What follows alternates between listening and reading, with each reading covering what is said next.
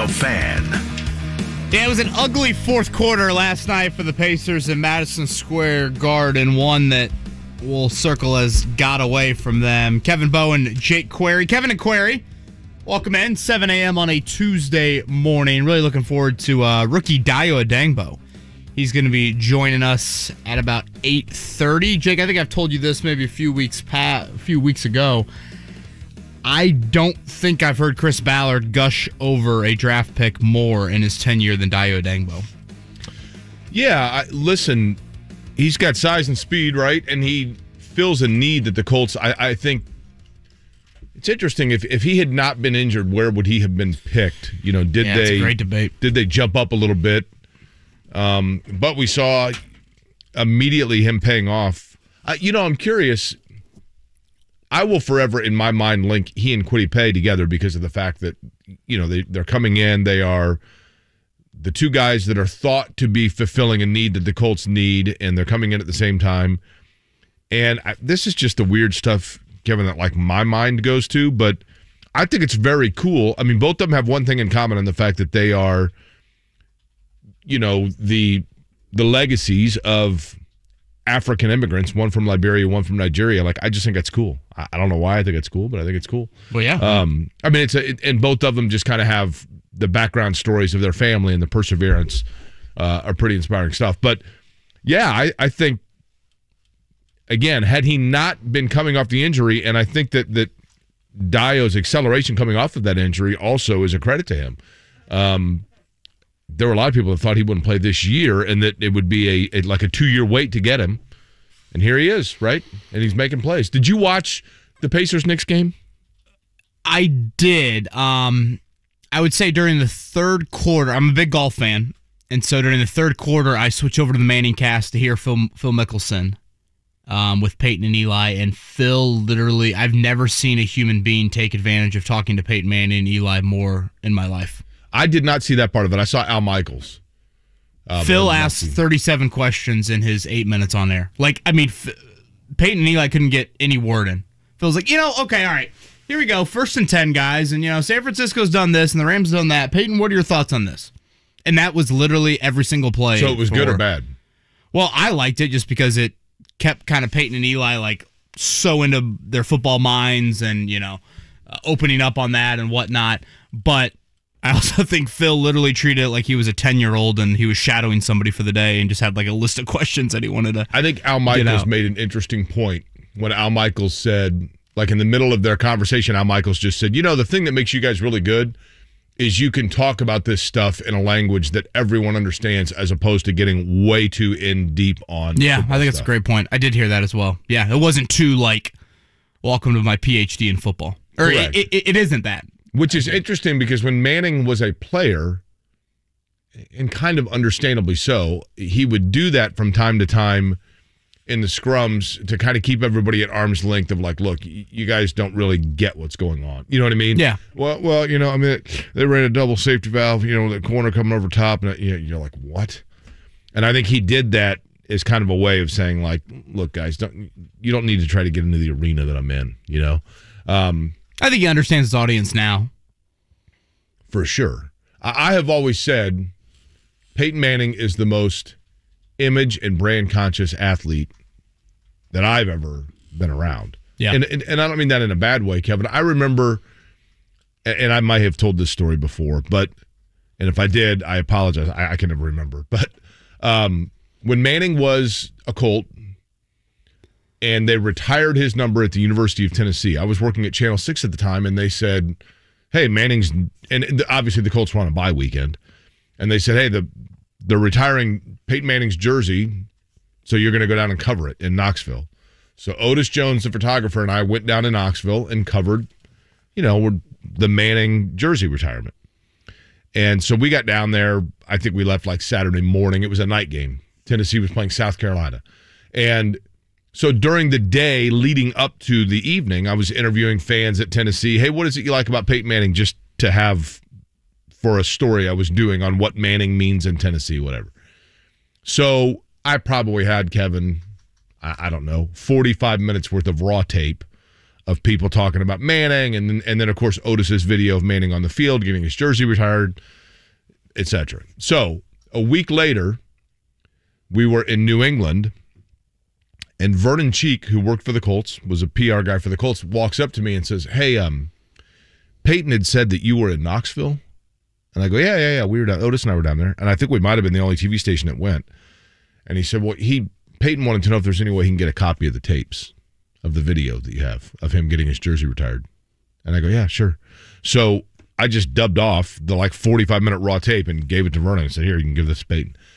And like a week later, Manning walks up to me in the locker room and goes, yeah, I, I got to admit, when you were interviewing that lady from Chattanooga and you made a joke about uh, about me, you know, being in Chattanooga, uh, it was really funny.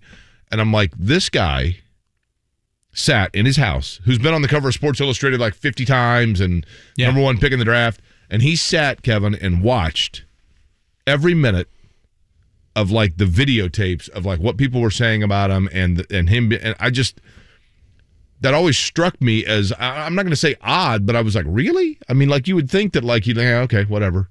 You would think that he would have been used to being in that limelight but and I, I guess I mean this as a credit to him. But it was not unlike. I mean, I, I, I've told people when I worked at Channel Six, the only two people that used to ask me for copies of tapes were parents whose kids were on Friday Night Football and Peyton Manning. So true. You know what I mean? I Like, mean, he wants to be in full control correct. That's exactly right. and playing the game of football. Obviously, that position he can be, and that's what I do like about last night. Is yes, it is Omaha Productions and all of that, but you know, Eli does put him in a few awkward situations, which is what I enjoy. Now, I did flip back to the Pacers because I'll be honest with you, Jake. I've never been to Madison Square Garden, It's the best. but for a Monday night November NBA game, that place was pretty lively. Like the I, best. I thought it was a tremendous atmosphere, and I get it. It was an awful, awful finish. 92-84 is not like some back and forth offensive shootout by any means, but that had a feel to me of like, whoa, you know, this is a little playoff type atmosphere, which again, it's not something you typically get on a Monday in November. Madison Square Garden. I'm telling you, like you could go to. Who's the worst? Give me the worst, cheesiest, most awful band you can think of, Kevin. Like if somebody gave you tickets, you'd be like, "Yeah, I'm good. I I don't need to go see them." God, it's a great question. Um, There's got to be one that like maybe other people like it, or or, or like uh, okay, Creed. Remember when Creed for, had like a two week window where they were cool and they were performing I, at the I, I was going to go with Nickelback. Okay, Nickelback, that's yeah, fine. Okay.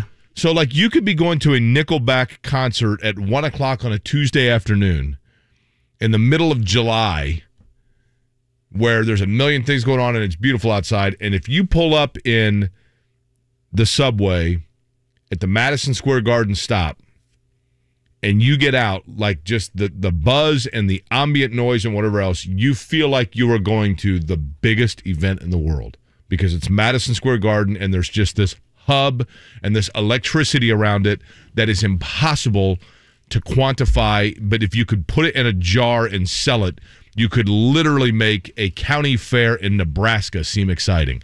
Like there's just an ambiance about it and and I, we were talking about Madison Square Garden on this show like two weeks ago, and somebody sent me a tweet, and they're like, "Madison Square Garden is a dump," and I'm like, "That's the point. Yes, it's a dump." But like you can still kind of like feel like the the Barnum and Bailey circus being there in 1948, and, I realize it's been redone like seven times, and it's not the same place where Joe Louis fought, but there's just a magic about it. There's something about, and there's a reason why Reggie Miller and Michael Jordan. There's a reason why they all say like that's the place you want to play. I'm kind of surprised, Kevin. Well, I'm not because James Dolan is an idiot, but like I'm kind of surprised that the Knicks have not always been the destination location for free agents because who wouldn't want to play in the Garden? Except for that, you're paying like 12% state tax. You're living probably in a brownstone or an apartment unless you want to drive in with a driver an hour and a half through the zane of New York City traffic. There's a lot that goes into it. But I'm telling you, the Garden, like watching a Pacer game in the Garden is just ma- like that organ. How, how great is that guy's job? You got two notes. Dun, dun, dun, dun. You just sit there, two, two I- keys. Last night it seemed like he had a little variety going there. I, I don't know if he's opened up his playbook a little bit there, but Do you think they said hey, wait a minute. Um, Yeah, well, you know we got fans coming back in the building this year. We got to kind of open up the old the old Oregon playbook a little right. bit there. But yeah, it was an ugly fourth quarter. The Pacers literally did not make a shot in the final seven minutes of the game. They scored ten points in the entire fourth quarter, which oh boy, that's really really hard to do. And it's not even like they were getting to the foul line late. Um, they only had four free throws in the final seven minutes of that game as well. And it wasn't as much of an issue for me Jake, or I guess maybe it hasn't been, but I think last night we saw a little bit of it of like, who is that go-to bucket guy for you Yeah. when things stall out? I thought Karis LeVert tried to play hero ball. I would totally agree with that. Yeah, which again, you kind of want him to like try and be the guy that gets you a bucket, but last night, I don't know. I mean, I, I do think it's something to the effect of some guys get caught up in the Madison Square ambiance and, and they want to do it on that stage and all of that. Uh, but last night, just a terrible finish, and that that's one where you feel like Pistons, Hornets, Pelicans the rest of the week. That's a pretty easy three game stretch. If you could have got last night, boom, all of a sudden we could be talking about the Pacers over 500 by the end of the week. Yeah, I, Levert to me, and I haven't seen, admittedly, a lot of Karis Levert. Right? I mean, we're still kind of getting to know Karis Levert. I thought he played ten percent faster faster than he needed to. Does that make sense? Like, uh, and and I, I realize maybe that's his style of play, Kevin. But like in watching him, I was thinking to myself, like, dude, just calm down. Like, there are times to shake and bake. Yeah. And there are times to go behind the back and in between the legs. But when the defender's six feet off of you, you're like, yeah, man, you're, you're expending wasted energy here. Like, just calm down. It was kind of like watching Lance Stephenson, who, by the way, is in the G League. Did you know that? I saw that. Grand Rapids, maybe? I looked the other day at G. The, I went on the GLeague.com or whatever Jeez. and boy. looked at their list of players to see. That every be a dangerous website if you Here's if a you- good. if I'm you gonna- get a few, a few letters wrong. Well, do you remember the the Indiana Fever when they f- first came into the league? Fever.com was a that was Oh. a site that was not.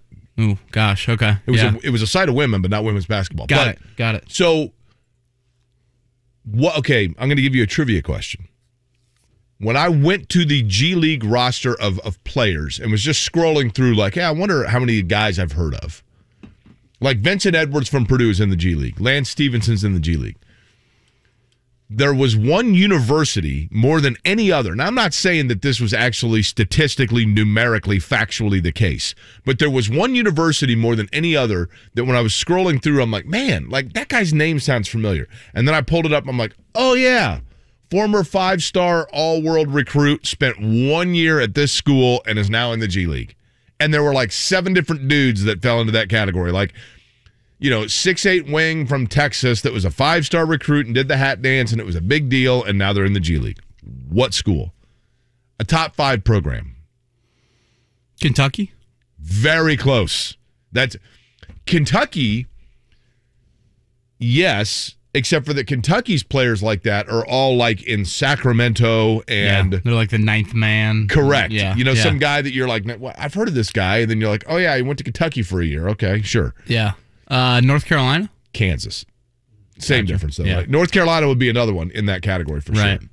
But how? But, but you know, Well, a Kentucky kid killed the Pacers last night. That Immanuel Quickley was incredible. correct. And he's another one that you're like, he was a one. I mean, is he maybe a one and done? Right? Yeah, yeah, I'm pretty sure. And that, you know, him and Derrick Rose, and I know Rose is turning back the clock a little bit, but I think that's always been a concern, Jake, with this Pacers team is like those little guards, you know, kind of keeping them out of the paint, things like that. Uh, no Chris Duarte last night. We should mention that. He had right shoulder soreness. I do, I know, like, we aren't supposed to like the Knicks because they're the Knicks, but I do think they have some Pacer qualities in terms of how hard they play. Yeah. Um, Tom Thibodeau, I think, gets them to buy into a Monday night NBA game more than you know most teams would. And I, frankly, I just thought watching that game last night, it was eerily reminiscent to me. Obviously, totally different stages, but it reminded me of what Baylor did to Gonzaga on a Monday night And- back here in April. Of just like the Pacers had zero answer for the Knicks defense, ball pressure, whatever you want to call it.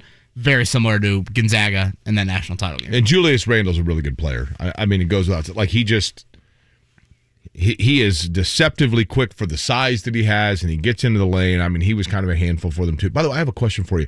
So I'm the new guy here, as you know, right? Yes. Uh, is this a printer question? How long does the new guy status last for me? Because I'm feeling a- a little bit self conscious here of not getting everything. Yesterday, Todd Meyer, who's the executive producer here, said to me, "You know, I cleaned that entire cubicle area for you, and you haven't put up any pictures or bobbleheads yet." I think Todd's pretty self self protective of that. And I'm like, well, I, I, I try to keep a very non nothing in here area because I've been fired so many places. It's much easier to clean out. Yeah. Right? Doing Like- the walk of shame to the parking lot is, is, is awkward when you've got about four or five boxes. Correct. So Yeah. you want to limit that, right? Right. Like, I, I mean, I've been, hell, I've done it out of this building before Well, where I'm like, yeah. When I got fired up at West 56th Street, I was carrying you know multiple boxes out to my car, and Chris Hagen's doing a stand up out there, and he goes, "Wow, you look like you just got fired." I'm like, "Well, well, Hagen, you know, funny you mentioned that. Yeah, any openings at Fox 59?" wow, really? That's Yeah. how it went down? Oh yeah, him and uh, him and Brett uh, Brett Bensley, two two, long- two great individuals, but Hagen and I still laugh about that. To this day. how long after you were given your walking papers and cleaning out your office did you first off did you have to go back to clean out your office like you know how you say like listen i'll come back later when no one's here Oh no, I, I did it all in one. I mean, I didn't have a ton in there at the time. I wasn't married or had children. did so you have not- before that day did you have any inkling I or did indi- not, no. indication that that was coming No. So it was probably I think about two, tri- uh, maybe maybe just one trip, maybe two trips. I think someone helped me out to my car, which is a very ni- nice thing to do. So and were you married at the time no, dating my wife, but no. and she st- she still married you even though you were Shockingly, yeah. Well, I mean, okay. do you think she married me for money, Jake? I mean, you know full well how much we make in this business. Fair enough. So here's my question though. So I, I log on to the the system here, right? So I, I use my login and my password and whatever else, and I get onto the the internet, the World Wide Web as we call it, and and then Breaking news. Here. yeah.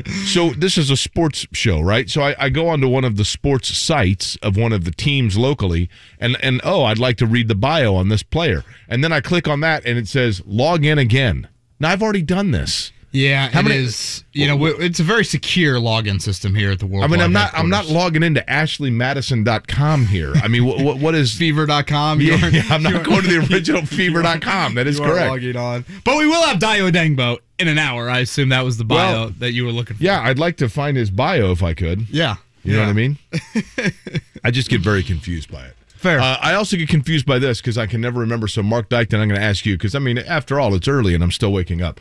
Uh, we do the Big O tires now, or we come back and do that. we go to break and then we come back with it. See, Kevin, eventually I'm going to get this straight. What, You what are. are we? What's the over under February before I can figure this stuff out? Well, I don't think you lose new guy status until you get the get the schedule right. It- it is confusing. The first hour is different than the next two hours. Yeah, why is that? Who laid that out?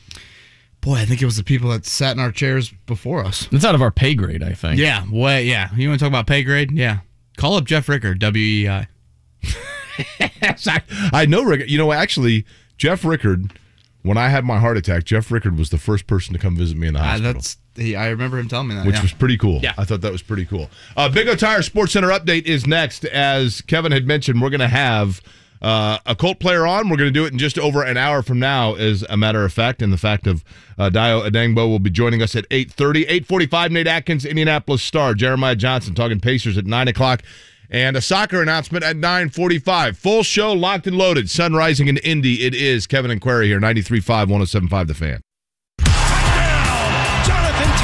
This week, the Colts head east to Buffalo. Now let's see Jacksonville beat the Bills. We beat Jacksonville. 23 to 17 is our final score. So we like our chances. The Colts look to avenge last year's playoff loss to Buffalo on Sunday. Our coverage starts at 10 a.m. It's a block punt picked up by the Colts. Matt Taylor with the kickoff at 1 o'clock. It's a touchdown for the Colts. Your home for Colts football is 93.5 and 107.5. The Fan. Presented for the people by Caesars Sportsbook. The Goblet has dropped. Download it. Must be 21 and up. Crew Car Wash Wash Books make the perfect gift for anyone on your list. The Ultimate Book is on sale now for buy four washes, get two free. Purchased at any Crew Car Wash location today. This holiday at Metro by T-Mobile, the big 5G upgrade just got better because now Metro has the largest selection of free 5G phones in prepaid, like the Samsung Galaxy 5G. And Metro gives you one line of unlimited 5G data for just 25 bucks a month with 5G included at no extra cost. So you'll be able to stream, snap, upload, and share the holiday cheer all season. Ring in the holidays with the big 5G upgrade from Metro. Get unlimited 5G and a brand new 5G phone when you switch and trade in. More choices on free 5G phones, more savings, and more 5G coverage at no extra cost. All with the power of the T Mobile 5G network. That's how you get more for the holidays. Only at Metro.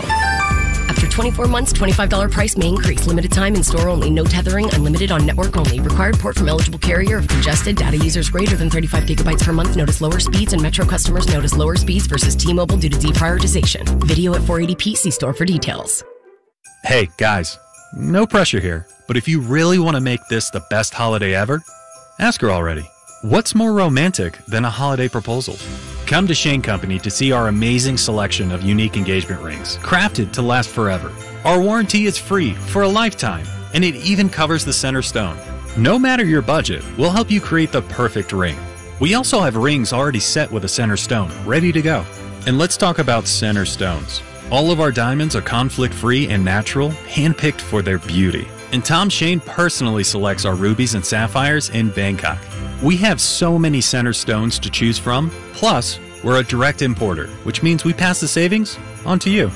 All right, guys, make it happen. Book a virtual or an in store appointment with a non commissioned jewelry consultant or just drop by the store. Check our website for hours. Now you have a friend in the jewelry business. Shane Company and Shaneco.com. The non-stop action of tennis takes center court at Bet Rivers Sportsbook. Bet Rivers serves up an exciting tennis betting experience like no other with a massive number of live in-game betting options, including point-by-point betting. But don't just bet on the game live. Watch it live. Bet Rivers Sportsbook live streams a huge number of tour events from around the world throughout the tennis season. Try it today, and Bet Rivers will match your first deposit up to $250. It's a winner. Bet on tennis at Bet Rivers Sportsbook. Go now to betrivers.com. Must be 21 or over to play. Gambling problem? Call 1-800-9 with it. 1-800-994-844.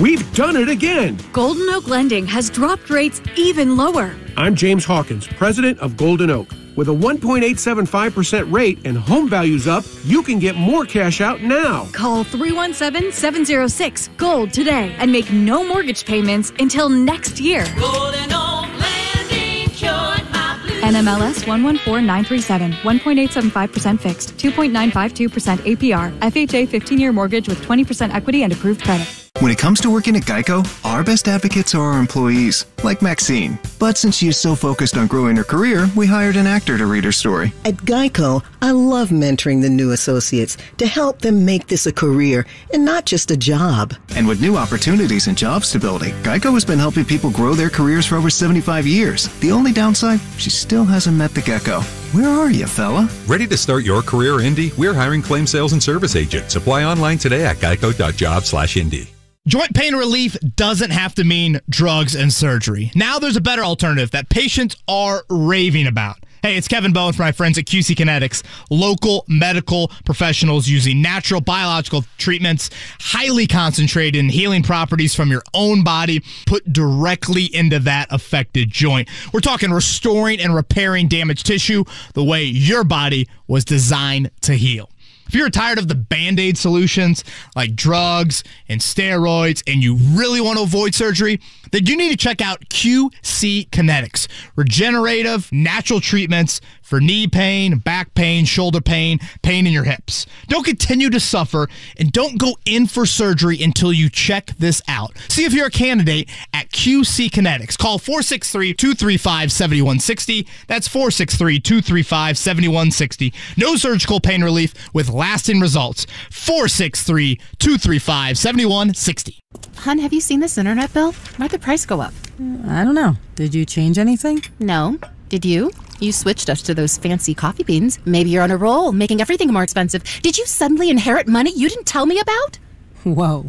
If your internet bill is giving you trust issues, you're not a bad partner. You just need a straightforward price. Maybe we switch to decaf. Get AT&T Fiber. Equipment fees are included, and with no price increase at 12 months, there are no surprises. Limited availability in select areas. Visit att.com slash faster. The Sports Center update on 93.5 and 107.5 The Fan is presented by Big O Tires, the team you trust. It is Big O Tires update time here on Kevin and Query. Let's begin with the Colts from yesterday. Um, again, we're gonna have Dayo Odeyingbo on around 8:30. It is at Buffalo and home to Tampa Bay to close out the month of November. Frank Reich on the magnitude of these two games. right now what our mindset is is this next week every week is a great measuring stick and obviously going to buffalo against a, a very good team very well coached team would be a great measuring stick to see where we're at at this point in the season From an injury update, Jake, we saw Quenton Nelson go down in that game. He returned. Uh, Frank thinks he's okay, but they're going to monitor that as the week moves along. Uh, Darius Leonard, no update yet. Both of those guys went down and looked like potentially re-aggravated other injuries. I know we talked a little bit about this yesterday. The more I hear Frank Reich talk about this kicking situation, the more I think it's going to be Michael Badgley moving forward. Kevin, I think you were with me on this, right? Yeah. Have we not said? Here's the thing Rodrigo Blankenship, if you were to make a list of things about him that separate him as a as a an NFL player at his position, but you have to remove anything that that has nothing to do with actual football, what would the attributes be? He's a consistent kicker from 45 yards in. The things about him that, that people like, which I understand, he's a very likable guy. Yeah, he can hang out with my nephew and do Legos Correct. all day long. Yeah. But that doesn't help you hit field goals. He has, you know, he's a fun personality. He's got cool glasses. He's got a T-shirt. Okay, that's all great. Does that help you when the game's on the line and you got to hit from 51 yards out? Yeah, I'm not going to act like I am an expert in anything, let alone NFL kicking, but it just seems like the ball kind of pops off Badgley's leg a little bit more than Hot Rod. Yeah, I would agree with that. Again, I, I think if you had, if there were no limits on roster spots and or salary, and you had unlimited funds, it'd be perfect if Blankenship is your extra point kicker from here till the end of time. but unfortunately, kicking be- goes beyond more often than not 30 to 40 yards. And when it comes down to it, where a kicker earns their money is when you got a 56 yarder at the end of a half or the end of a game. And Badgley gives you a better opportunity in those situations. Seven games to go for the Colts based off kind of scheduling Can I prop my feet up here? Does that bother you? Uh, We've got a, a seat between the two of us, and I'm Yeah, I feel like that chair needs to go anyways. Okay, so this you is an okay footstool? One step closer to the dumpster is fine by me. okay. Uh, the hardest remaining schedule in the AFC belongs to the Colts, and the test will begin again this Sunday as they go back on the road to face Buffalo. All right, last night, Madison Square Garden, a fourth quarter to forget for the Indiana Pacers. They score 10 points in the entire fourth quarter. They do not hit a shot from the field for seven minutes, 13 straight misses to end the game. They lose again, 92 84. After the game, Rick Carlisle talked about the difference down the stretch. Uh, physical play. Um, you know, I thought you know their their aggression made it made it tough on us. We had some good looks that didn't go down, and you know we had others that were not good, and we were up against the shot clock a couple times. And you know this place can turn into a frenzied place. So you know we just uh, we got to do a better job executing, and it always helps to get stops. And in the fourth quarter, you know, getting outscored 23 to 10, uh, we weren't we were getting stops, but we weren't getting enough. Listen, TJ McConnell, Miles Turner, and Kelan Martin, who has been kind of a rising player for the Pacers. Between those three players, 11 total points. Not going to win a lot of games in that situation. Miles Turner, and I know that like bagging on Miles Turner is kind of a trendy thing to do. I happen to be a fan of what Miles Turner brings to the game. But three points and only four field goal attempts in over 30 minutes, you need more than that. Yeah, a little hero ball from Karis LeVert, 5 of 14. Sabonis at 21 and 15. Brogdon 22. Uh, TJ McConnell, again, like you said, not uh, off the bench what he has been giving you. Pacers will stay on the road for two more at the Pistons, the worst offensive team in the NBA tomorrow night. against the Hornets on Friday, home to the Pelicans. That's the 2 and 13 Pelicans at Gainbridge Fieldhouse on Saturday. Ironically enough, the uh, Pistons, who they'll see tomorrow night, a couple of, I think, just Big Ten Indiana ties. You got Trey Lyles, Luka Garza, and Cory Joseph, former Pacer as well. Cade Cunningham, number one overall pick, at 25. Good player. Last night for the Pistons. Cory Joseph, I didn't realize, uh, to be honest with you, that he was still in the league, but I, I liked Cory Joseph when he was a Pacer. I just thought a nice, stable player. Stable Yeah. in himself, good, solid player. Yeah, solid. I Good think citizen. a nice little second unit piece there. All right, college basketball tonight. Purdue's got Wright State at 7 o'clock. That's before their big weekend with North Carolina. And then uh, the winner loser of Villanova, Tennessee, and that four team, I believe it's a Hall of Fame classic for Purdue. IU's got St. John's tomorrow night. That's 9 o'clock um, on FS1. The 7 o'clock game on FS1 tomorrow night is Butler hosting Michigan State. That's part of those Gavitt games. You saw a couple games last night. Big East, Big Ten. I believe Illinois lost to Marquette. I think the Providence beat Wisconsin. They were up on them early. I'm not sure if they. You know, I would check, gone to win except for that uh, I'm not logged back into this site here. You're already off. to show. Maybe you are looking up Ashley Madison or something else. you you uh, you logged me in, and then it realized that I was scamming. And uh, let's see here. I'll look.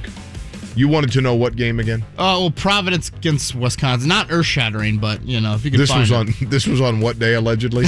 yeah, last night. I'm having to go back here and, and check everything. As you were, Kevin. I'll let you know here in a second. We mentioned it briefly uh, yesterday. We'll bring it up again. We are down to 24 teams in the IHSA State Football Finals. Announced yesterday, it'll be the odd games next Friday at Lucas Oil Stadium. I should say the odd classes. So I think 1A, 3A, 5A uh, down there at Lucas Oil, and then the even classes on Saturday. 2A, 4A, and 6A. The local teams running it down. In 6A, you've got Center Grove against Ben Davis. Westfield will have Merrillville. 5A, the local teams, Cathedral and Zionsville still left, opposite sides of the bracket. 4A, you've got Mount Vernon after their big upset of number one, Roncalli. 3A, Brebeuf and Tri West. I believe those are opposite sides of the bracket as well. 2A, Scecina. And Class 1A, you've got Lutheran and Tri. Uh, Nate Watson with 24, overcoming a 25 point effort from Brad Davison. Do you know which Can't believe team? that dude is still there. Do you know which team either of those two plays? for? I, Brad Davison has been at Wisconsin since I think I was at IU. Brad Davison indeed at Wisconsin as the Friars get a 63-58 win over the Badgers. At the Kohl Center. Was that at the Kohl Center? I believe so. Okay. Wow. Do you ever go to Kohl's? No, know, but uh, well, back in the day with my mom, big big Kohl's fan. You know, I have been to the Kohl's Center. You talk about a great atmosphere. Kohl's Have- Center. you have been there? Yes. Um, Indiana lost. It was actually a decently close game. But when you say Indiana lost at the Kohl's Center, that's not shocking news by any means. But uh, you remember Jordan Taylor, point guard? Yeah. For uh, for the Badgers, yeah, he was terrific in that. Okay, game. so did you go like you just were with a buddy and you're like, let's just road trip up there? Or what no, was the- no, I covered the uh, covered the team for the Indiana Daily Student my senior year. Oh, really? Yeah. So that was the uh, Watt shot Which- year. Which, you know, they should talk about that more.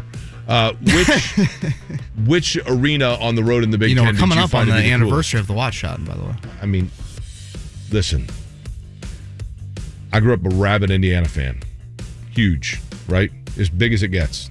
You ever heard Don Fischer's call the Watt shot? Oh yeah, a few times. Indiana, and I grew up, like I said, as big an Indiana fan as you can find.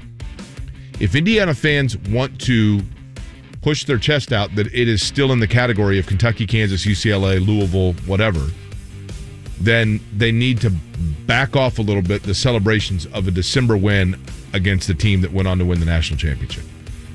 Right? Like it was a December win. It was a great shot. It was a great moment. Cool. You got to stay there.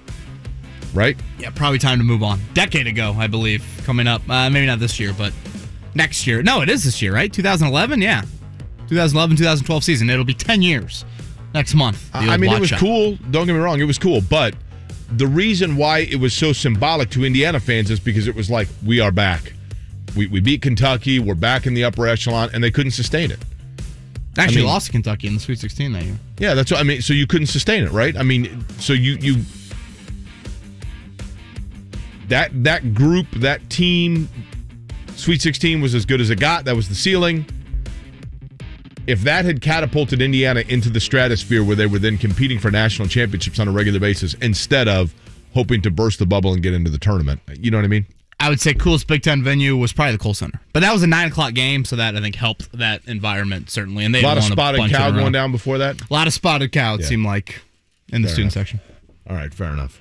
I've always thought, um, you know, some some venues in the Big Ten, Mackey Arena is fantastic. Oh yeah, I know? mean, I would say non-Mackey division, honestly.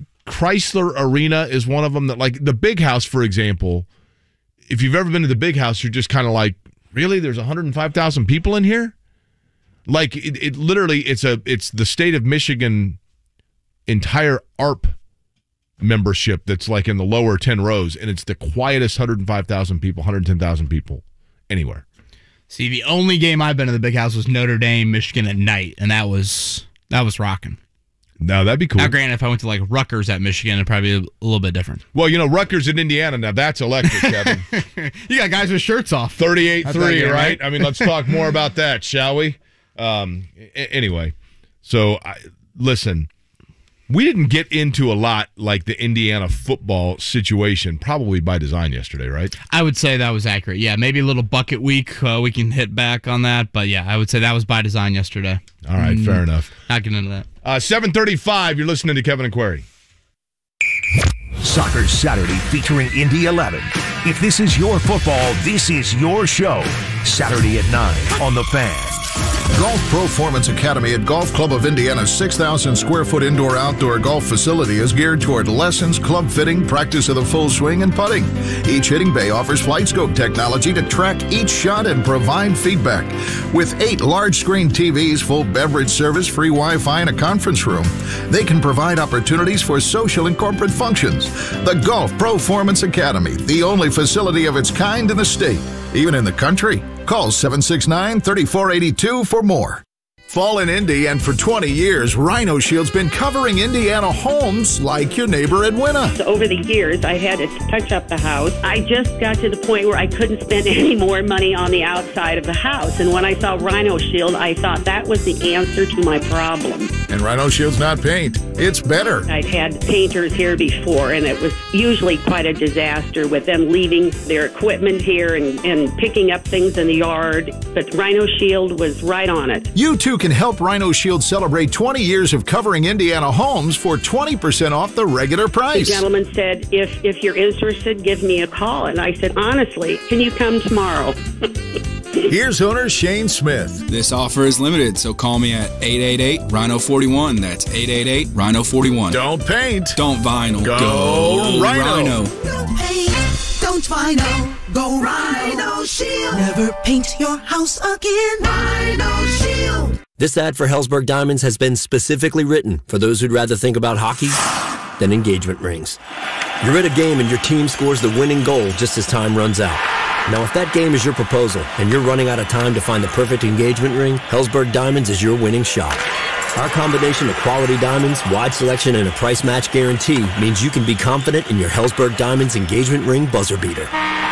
Visit your local Helzberg store and ask about our amazing financing options or check us out at helzberg.com. Hey, it's JMV at Ray's Trash Service. They're all about protecting the environment while bringing cost savings to you. Natural resources are going up in price and landfill space is disappearing. So Ray's is committed to preserving the Hoosier environment and serving central Indiana with efficient, cost-effective, and responsible waste removal and recycling solutions. They're one of the largest recyclers in the state of Indiana with customer rebates on paper, cardboard, and so much more. Visit raystrash.com to see how they can bring recycling solutions to your organization. When we at AmericanEagle.com were asked by our client, Repair Clinic, to, well, repair their website, our digital marketing experts, like Tim, rolled up their sleeves and got to work. If you know Tim, you know that he loves a good challenge, which meant that this project was pretty much the highlight of Tim's year. From improving slow loading performance that plagued our client's site to slashing duplicate pages and building an optimized sitemap, Tim was like a real life action hero, of website optimization. And our client reaped the benefits with major strides in their SEO, like more traffic, impressions, and revenue. Tim and the team even helped them create search and email marketing campaigns and better ongoing analytics tracking. However complex your digital challenges, from digital marketing and strategy to web development, UX, and more, talk to the experts at AmericanEagle.com. Don't just grow, soar.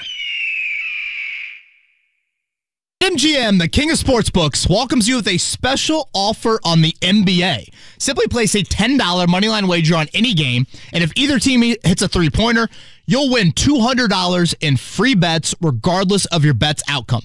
Just use the bonus code. It's the FAN200. That's all one word, capital T, capital F when you make your first bet. Enjoy NBA action like never before with BetMGM's live betting options, boosted odds specials, and daily promotions all season long. Download the app or go to betmgm.com and use that bonus code THEFAN200. Again, that's all one word to win $200 in free bets if a three-pointer is made in the game you wager on. Nothing beats a win at BetMGM. Visit BetMGM.com for terms and conditions. 21 years of age or older to wager. Indiana only. New customer offer. All promotions are subject to qualification and eligibility requirements. Rewards issued as non-withdrawable free bets or site credit. Free bets expire seven days from issuance. If you or someone you know has a gambling problem and wants help, call 1-800-9 with it. For the first time in the history of Hard Knocks, HBO and NFL Films are teaming up for an in season edition of the Emmy winning sports reality franchise. Hard Knocks in season, the Indianapolis Colts follows the Colts as they navigate the challenges of an NFL season and battle for a spot in the playoffs. This is going to be behind the scenes footage of your favorite team like you've never seen before. The weekly docu series premieres Wednesday at 10 p.m. on HBO Max. At Kroger, we know the holiday season is going to be special for everyone.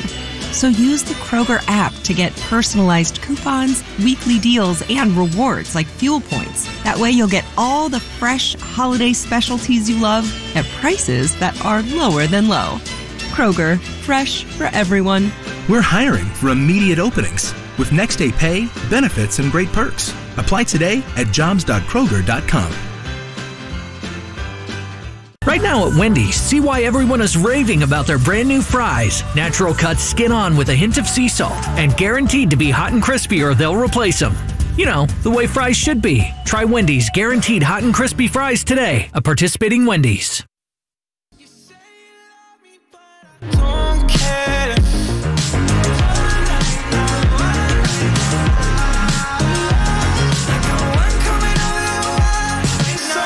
Listening to Kevin and Query on 93.5 and 107.5. The Fan. We have Dayo Odeyingbo join us here in less than an hour. We're also going to talk a little bit of Hard Knocks. They were in studio uh, yesterday, and just kind of curious Jake's thoughts on that because we haven't hit on it too too much. The debut episode tomorrow night at 10 p.m. Yeah, Jake, I I think I've made it pretty clear my thoughts on like Matt Eberflus and this Colts defense. I think he should be commended for the play that really sealed the game on Sunday. Uh, Odeyingbo had the strip sack. What I loved about that play in particular, and honestly, you could say this for the whole game on Sunday. We talked about it during Friday's show. You, the only way, in my opinion, Jacksonville was going to be able to kind of go blow for blow with you is if Trevor Lawrence felt comfortable. I never felt like Lawrence was comfortable in that pocket. And on the game winning play, Kenny Moore blitzes. You bring more than you know they can block, and it was the more pressure, along with Kwity Paye on the other edge, that forced Lawrence to step up in the pocket. Boom, there's DeForest Buckner and Dayo Odeyingbo waiting for him. And I thought when you brought pressure, which they did a lot of on Sunday, that was the difference in the game. I think that's true of virtually any quarterback, right? I mean, obviously, when you have a young quarterback that is trying to uh, probably head on a swivel in the league, it is easier to get that disruption in terms of their mental focus. Um, you know, in Lawrence's case, also you combine that with the fact that he had no receivers getting separation. No, and I don't know if that's an indictment on the receivers or a credit to the Colts defense, maybe a combination of both. But Lawrence just couldn't get anything going. I, you know that that offense for Jacksonville. Can you imagine being like a Jaguar season ticket holder? I mean, it is as anemic nope. as it gets, right? Nope. Hope you enjoy the pool. Yeah, and uh, is Urban Meyer going to be there in a year? I would say no. And I, I thought Urban would, would work out. I look like an absolute idiot with that with that statement. I, based on what? Based on what in, in terms of you thinking it was going to work out? I just thought his college pedigree was incredible, and I get that it's different, but I thought his will to get it done would win out in the end. And I know at times that will is psychotic and Well, what's interesting to me, damning to his health, but still. What's interesting to me about Urban Meyer, you know, a a a, a play-by-play viewer of Ohio State football, I am not, but I see him a fair amount. Obviously, you know, being in the big, you know, you just you can't avoid Ohio State football. Urban Meyer, during the course of his coaching tenure at Florida and then Ohio State, and I'm talking about on field between the lines, his teams were so sharp. But if you if you really look, go back and look at it, the latter part of his tenure at Ohio State started to get pretty sloppy. And all of a sudden, like the things where Ohio State was laser sharp focused discipline, and and Ohio State Notre Dame is a similar situation. Brian Kelly, if you look at Notre Dame games, Kevin, I think you'd agree with this.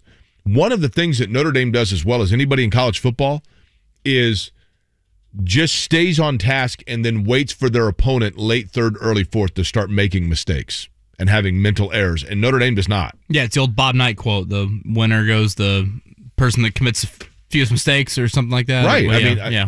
and, and that's and Notre Dame does a really good job of that. That's what Ohio State did forever. Towards the end of the Urban Meyer Ohio State era, it felt like they all of a sudden that just got away from them, and they started making you know sloppy plays, penalties, whatever. And you're like, what is going on? And then Ryan Day takes over, and and you know you've seen what's happened. So I had this vision that when Urban Meyer went to Jacksonville, that the Jaguars would be similar in terms of just really disciplined. But I kept going back to the way it ended with Ohio State. And it seems like that lack of discipline is also within Jacksonville. And then the whole thing of I'm I'm sorry, but the whole thing with London and and or excuse me, not London, but uh, which game where was it? Was here, was it not? Where he he didn't go back to Jacksonville? yeah, Thursday night game at Cincinnati. Cincinnati, okay. Yeah, I- could have been London. London, he maybe could have got away. That's with right, it. London was the next week. Yeah, But- I don't but know like- about Ohio State's alumni base in London, but he But how do you not go back with your team? It just seems like he's already lost that that locker room.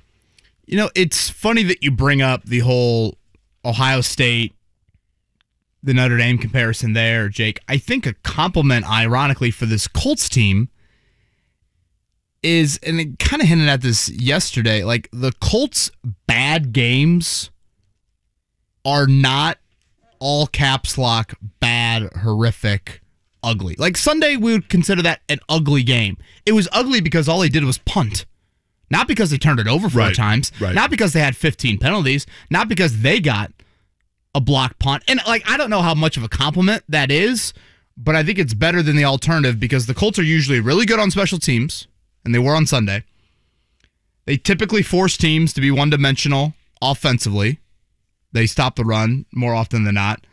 And this season, they have not turned the ball over really at all. Those qualities, it's something, and it's a reason why they are five and five right now. Yes, they're gonna have to beat better teams, better quarterbacks. We know that, but I do think this gets back to our old uh, like higher floor debate.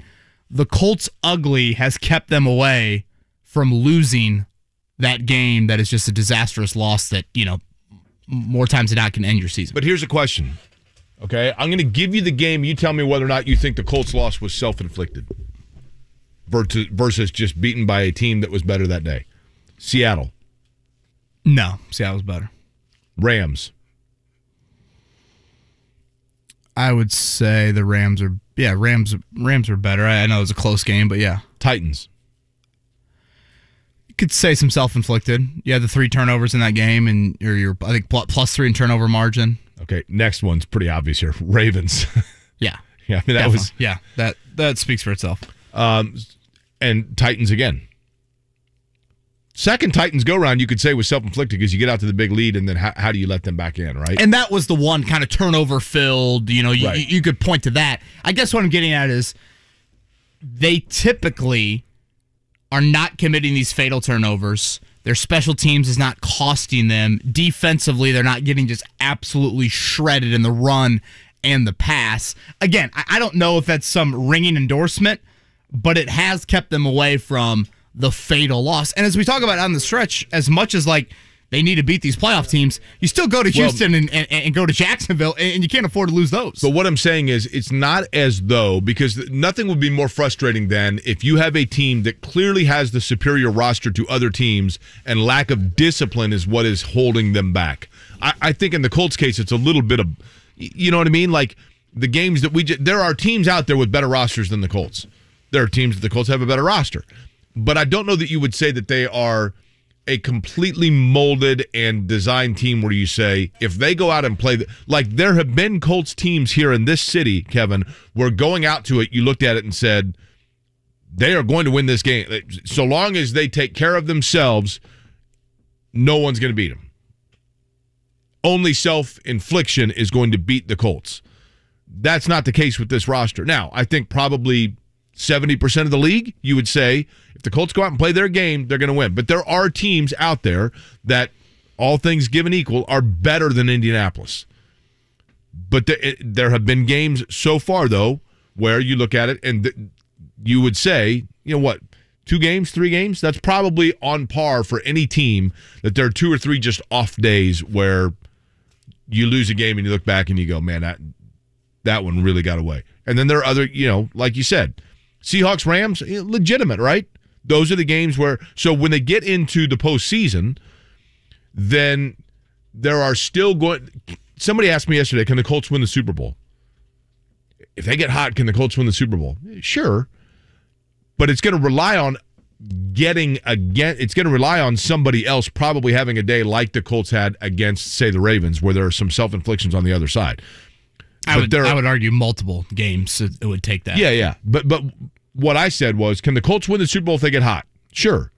So too can Cleveland, you know, the Chargers, the the the Ravens, the Steelers. I mean, there are a number of teams that are in that same boat, right? I mean, that, that there have been teams in the past where you looked at it and said, they don't screw up, this Colts team's going to win this, at least get to the Super Bowl. This is not one of them. Now, what about someone that would say, well, those teams that you just mentioned, Chargers, Browns, whoever, they've beaten legit teams this season. You look at right now, I think it's just the Colts and Texans, the only two teams in the AFC that have yet to beat a team over 500. Yeah. And if you're going to go on a run in the playoffs, Then hell, you've got- right, right. If you're going to get to the Right. playoffs, let alone get on a run, You've you're going to have to do things you haven't done in over a year. Correct. I've always wondered this in this town. If people were asked right now, if if if you kick a bottle and a genie pops out, and the genie says, "I, I can secure it right now," Colts win the Super Bowl or Pacers win the NBA title. Which one do you pick? Oh, Colts Super Bowl in this town? Think so? Yeah. Have you seen the attendance attendance over at Gainbridge Fieldhouse? Understood. I think there are people. I think it would probably be 60-40, but I don't think it's as is. I don't think it's it. Uh, you know what? In all honesty, Kevin, it's an age question. For people my Yeah. age and older, they'd probably say Pacers because we've watched them for so long and they've never won an NBA title. That's that's a good point. Yeah. Whereas I have seen the Colts win a Super Bowl in my adulthood, but I've not seen the Pacers. You know, I've seen them get close, but Yeah, I'm probably just going off of today's popularity.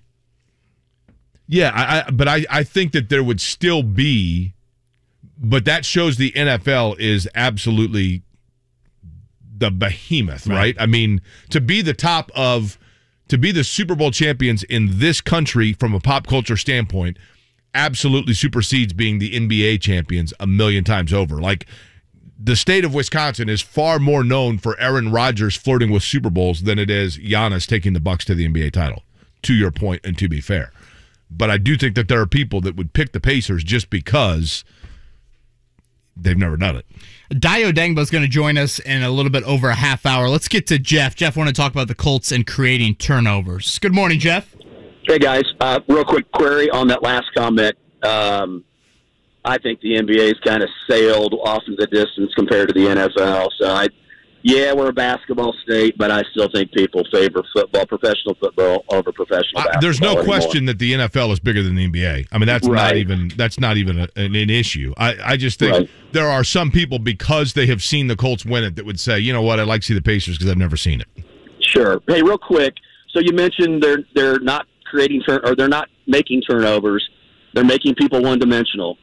Uh, their no, no, no. offensive That, they're not. They're not turning it over themselves, Jeff. Cor- correct. Yeah, That's yeah, what I meant. I'm sorry. No, yeah. good. Their their offensive line's getting probably as playing about as good as it is. I still don't know on a pass rush if they're as great as what everybody thinks they are. They're running the ball. Their defense is solid. Even with the injuries, their defense is solid. They've got good line backing. Line's pretty decent.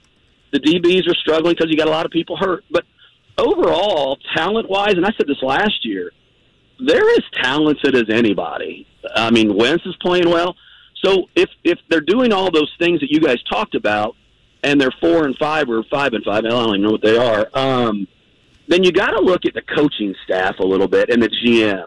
Did they do anything to get better at the wide receiver? No, they got nobody to throw the ball to. Okay, um, I mean, but no, hold on. Okay, and I and I'm not disagreeing. I'm playing devil's advocate here to an extent, but you're, you're commending their roster, saying they're as talented as anybody on one hand, and then saying it's an indictment on the general manager on the other. The general manager is responsible for comment one. You're absolutely right. Um, so let's go to the coaching staff then. Okay, last weekend they had been throwing the ball deep, and it's been working. Well, I don't care if it's pass interferences, what it is. How many times they throw the ball deep Sunday? Yeah, that was an issue. I mean, when is when is he going to learn? I don't care if if Wentz has got three seconds to throw the ball. Throw it deep and see what happens every once in a while. I mean, you've got to open the field up, and he didn't do that beginning, so they're one and five or whatever. It late, and they're winning games. I mean, I'm I'm not a football guy, but I'm not a dummy. I mean, uh, my three year old could probably tell you this. Come on, throw the ball deep open it up a little bit, make teams play you deep, and maybe more of that 10 yard, 15 yard pass plays start. Um, and then my last comment is I'll be honest with you. I, I thought about this last night. If you could take 20 teams this year that can win the Super Bowl, there is no front runner in really either league that yeah, I by design, right? I mean, the parity of the Right. NFL is by design, and I thought about it last night too. As I'm watching, you know, I remember working in St. Louis and San Francisco that rivalry, and it was the old line was San Francisco saying, you know, same old sorry ass Rams. Well, that, I mean, then last night I'm watching, I'm like, there you go, right? But the Rams, Kevin, looked like a team at the beginning of the year. You're like, here you go. I mean, this is the best team in the league, right? And they're just stockpiling talent. Then they hit a rut. Everybody hits a rut, right? The parity of the NFL across the board was by design, and you see right now, and that's why it's the 800 pound gorilla because people love it because everybody feels like they got a shot. do want to hit on a couple things Jeff said when we come back. Um, right now, Jake, the team that I think fears the most in the NFL would be Green Bay. I, I, I still think Yeah, Green Bay is kind of a notch above. And I know they've had struggles in the playoffs. With the Aaron Jones injury not being too severe, I think that's the one team. You look at both leagues, that would be my favorite right now. And they also are the one that that seems to not have really stubbed their toe just yet at any point where they went out and you just go, wait a minute, they're they're in a rut here. So we can discuss that. And then again, 8:30 coming up 30 or 33 minutes from now, Dayo Odeyingbo joins the show. It is Kevin Aquari. Put on your helmet. It's about to get real. Jason Benetti. I am so sick of undefeated teams getting disrespected by the college football playoff committee. The hardest thing to do in a football season is win all your games. Cincinnati went on the road and beat Notre Dame. If Cincinnati can't get in, nobody's ever getting in from a group of five conference. Ever. What are we doing? Dan Dakich, weekdays noon to 3 on 93.5 and 107.5. The Fan. Presented for the people by Caesars Sportsbook. The Goblet has dropped. Download it. Must be 21 and up. Our friends at Golden Oak Lending have done it again. I was able to speak with their owners a few weeks back, and they are just great people looking to save you money. And they're ready to help right now and get you refinanced today before the end of the year. Among the many things I love about Golden Oak is no cost for an appraisal. That's right. Simply just by picking up the phone and seeing if they can meet your goals costs absolutely nothing. And who you talk to, it's going to be a local loan officer right here in Indianapolis. I'm not talking some call center across the country. Golden Oak's experienced local loan officers make refinancing and buying a breeze, guiding you through every step to ensure you never get lost in jargon and numbers. Even if you haven't done anything to your house, your home's value has increased in the last year alone. Giving you the opportunity to use that equity to finish a home project, pay off credit cards, or even consolidate bills. No matter your unique situation or goals, you have an expert lending partner for life in Golden Oak Lending. Head to goldenoaklending.com right now to see what your home equity can do for you. NMLS 114937, 1.875% fix, 2.952% APR, FHA 15 year mortgage with 20% equity and approved credit. This is for the men who never settle, the ones who believe only quitters end a game and a tie, the type of guys who choose the bar with the biggest TVs to overcompensate for theirs at home. This is the Lodge mentality. This is Twin Peaks. Are you a fan of Twin Peaks? Sign up for their e-club to stay up to date on all things Twin Peaks and score free stuff. Signing up is easy. Visit twinpeaksrestaurant.com slash peaks dash club. Twin Peaks. Eats, drinks, scenic views. Hey, JMV, you know, I'll never forget the first time someone pointed out the bald spot on the back of my head. That's why I went to We Grow Hair Indy. Here's Darren Andrews to tell you more.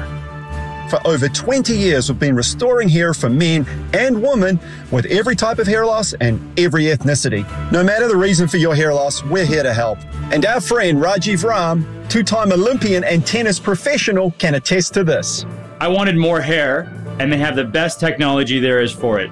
We Grow Hair Indy cared about me and did exactly what they said they would. The results have been amazing. I had the multi unit hair grafting procedure, and I loved that they could fill in my thinning hair on top of my head. People tell me all the time how great my hair looks, and yours can too. Call now for a free evaluation and grow your hair back. Call 888 724 5129, 888 724 5129, or WeGrowHairIndy.com, the gold standard in hair restoration. This is how we reinvent banking. Say the money's gone tight in your checking account, then you crack your phone and the screen goes out. No shame in your game, we got the assist. Huntington Bank, lending money with a twist. Come to us for extra cash when you're strapped, cause it's free when you auto pay it back. Introducing Standby Cash. Extra cash when you need it, free when you auto pay it back. Huntington, welcome. Without automatic payments, 12% APR. Eligibility requirements apply. Amount available is based on customer eligibility. Learn more at huntington.com slash standbycash. Of course, she needs a college education, but I don't want her buried in student loans for the rest of her life. It starts here. She needs a school with great resources, but some of these campuses are so big. The School of Health and Human Sciences at IUPUI has the resources of a big university on a campus with a hometown feel. It's a more affordable option with access to career paths in Indy's world class healthcare and sports entertainment hospitality organizations. At those big schools, I'm worried she'll just be a number. Hey, it starts here. Hey, why not IUPUI? That's what I was thinking. A tourism, event, and sport management degree fits detail oriented individuals who like to call the shots in a fast paced environment. Hands on internships plus dedicated professors give the education and professional contacts needed to land an ideal job after graduating. The School of Health and Human Sciences at IUPUI. It starts here. Learn more at shhs.iupui.edu. When it comes to working at Geico, our best advocates are our employees, like Michael. But since he is so focused on growing his career, we hired an actor to read his story. If you want a job where you get out as much as you put in, Geico is the best place to work. Plus, we promote from within, so there are no ceilings placed on your opportunities. They even offer parental leave to full time employees. So there's nothing stopping him from going all the way to the top. But not too high, he's scared of heights. Ready to start your career, Indy? We're hiring claim sales and service agents. Apply online today at geico.job slash Indy. 93.5 and 107.5. The Fan. WIBC HD2, W298BB, WIBC HD3, W228CX, Indianapolis. Join me today from noon to 3. Knicks in New York against the Pacers. We'll talk about that. Also, Chappie's going to join, and we're going to hit on what is a massive week for the Colts. Join me today, noon to 3. It's Kevin and Query. Speaking of rivals, my good friend Tom Brady is here tonight. By the time he is inducted, on 93.5 baby! 107.5 The Fan. It's Kevin Bowen, Jake Query. Kevin and Query every single morning, 7 to 10 a.m.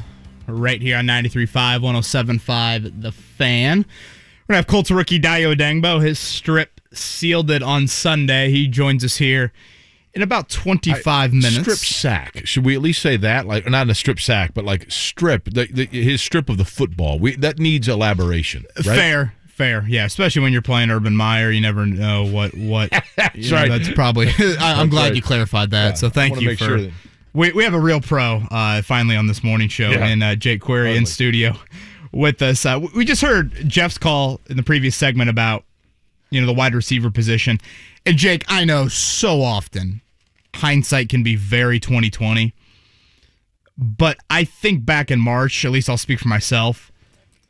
I wanted to see them do something at wide receiver because, like, didn't we see 10 games into the season this Parris Campbell and this T.Y. Hilton coming? Like, uh, it, it it didn't take, you know, some, you know, Mother Cleo magic eight ball to predict this. The the good news and the bad news for the Colts is that Michael Pittman, good news, is on the trajectory and the path that you would have hoped going into the year that he would be on, Yep, right? Definitely.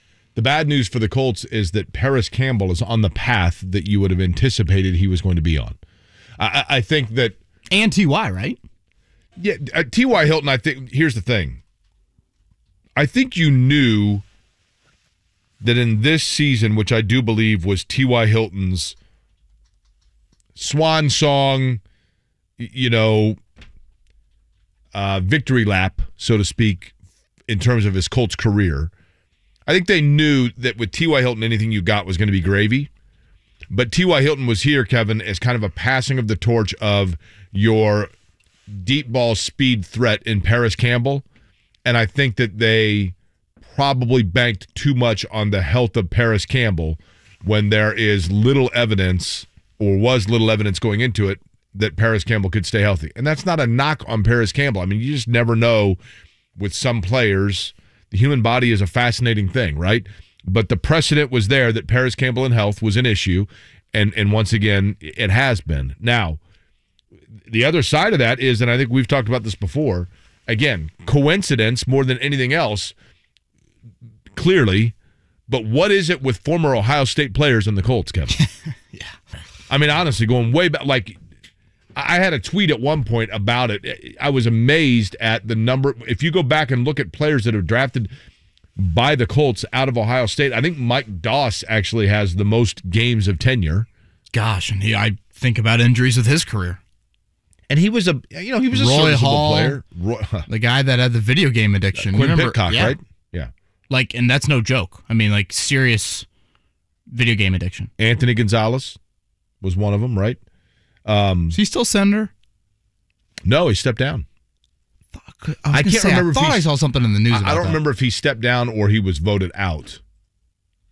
But to your Hilton point about gravy, Jake, and I, and I do think they viewed him in that light. And that was weird how that free agency played out. Remember how you know it looks like Hilton's going to sign with Baltimore. Jim Irsay comes calling with the midnight oil and says, "Hey, we'll, we'll we'll sweeten the deal a little bit." When I saw that, I'm thinking to myself, okay. That means that some combination of Chris Ballard and Frank Reich don't view T.Y. Hilton in the same light that Jim Irsay views him. So if that's the case, wouldn't Ballard and or Reich have been more prone to go after another wideout to make sure that if this is the swan song, we know Campbell's injury history. We Right. don't think Hilton's a legit number one anymore. We're gonna need support for Michael Pittman at some point, and yet they really neglected Well, to do that. But let me ask you this, and, I'm going to put you on the spot here. I don't mean to necessarily, but um, fair point. But the question then would become, who would you have in mind? I thought in free agency there were a couple of levels to wideouts. Like, yes, you had your Juju Smith Schuster and your Kenny Golladays, and I guess Ty maybe fell into this group, and I'm forgetting another wideout or two. Um, kind of those top tier guys. I wasn't really in the mood for that, but I thought more of kind of, and I'd have to look back at the list, but I think you had some second or third tier guys, or if you wanted to, and I'm not saying that this is necessarily the route that you needed to go. But then you go into the draft, and instead of drafting that- a Division two kid in round seven, that's you maybe fair. draft somebody in round four. I now I will say this, okay? Guilty as charged on my behalf here. I thought Strachan was going to be a player that was going to contribute for them at some point this year. And maybe he still is. But, you know, I remember like when Mo Alie-Cox first came in, I remember saying, like, at some point this year, Mo Alie-Cox is going to make a play for them. And he did. Strachan was a guy that at the beginning of the year, Kevin, I thought to myself, at some point there is going to be a spot for him to make a contribution to the roster.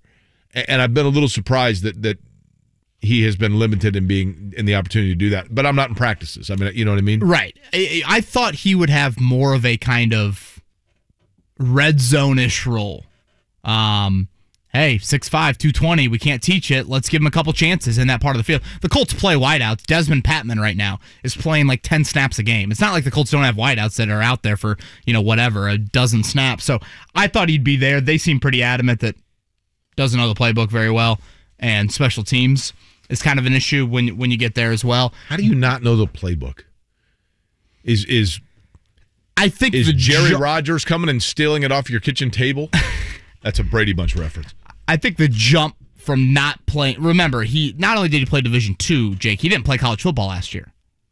I Yeah, think that still, I mean- adds to it. Like I'm sure his role in Division Two was, hey, just throw the ball up to him and he can go get it. Here, it's you're moving around a whole lot more. Sometimes you're playing outside. Sometimes you're playing inside. I, But your job is to know the playbook. I mean, I would think you, you would be able to go out and if I but know it to the degree that you know it as uh, year five, year six.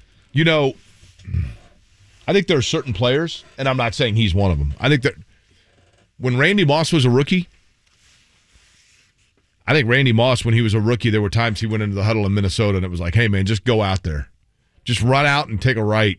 We're just going to throw it up. I think there's certain, so to your point, I guess there are certain guys that if you're an athletic enough guy, you just get away with it. But but if you were a player I, if you were a player that you, that you got drafted and you knew, okay, I've got to I've got to know this playbook. I, I mean, you would think that you would spend 18 hours a day with that thing like the Rosetta Stone. Like I would have it literally on audio tape in my car and drive around and have the woman saying like, you know, X splits two, I'd be three, red. Falling asleep on 465. Go 465. out and take a right. Hearing I- that. No, I would. I'm not certain I wouldn't be falling asleep on 465 hearing this. But having said all that, I'm just telling you, like, if if that was your job, wouldn't you find a way to get it done?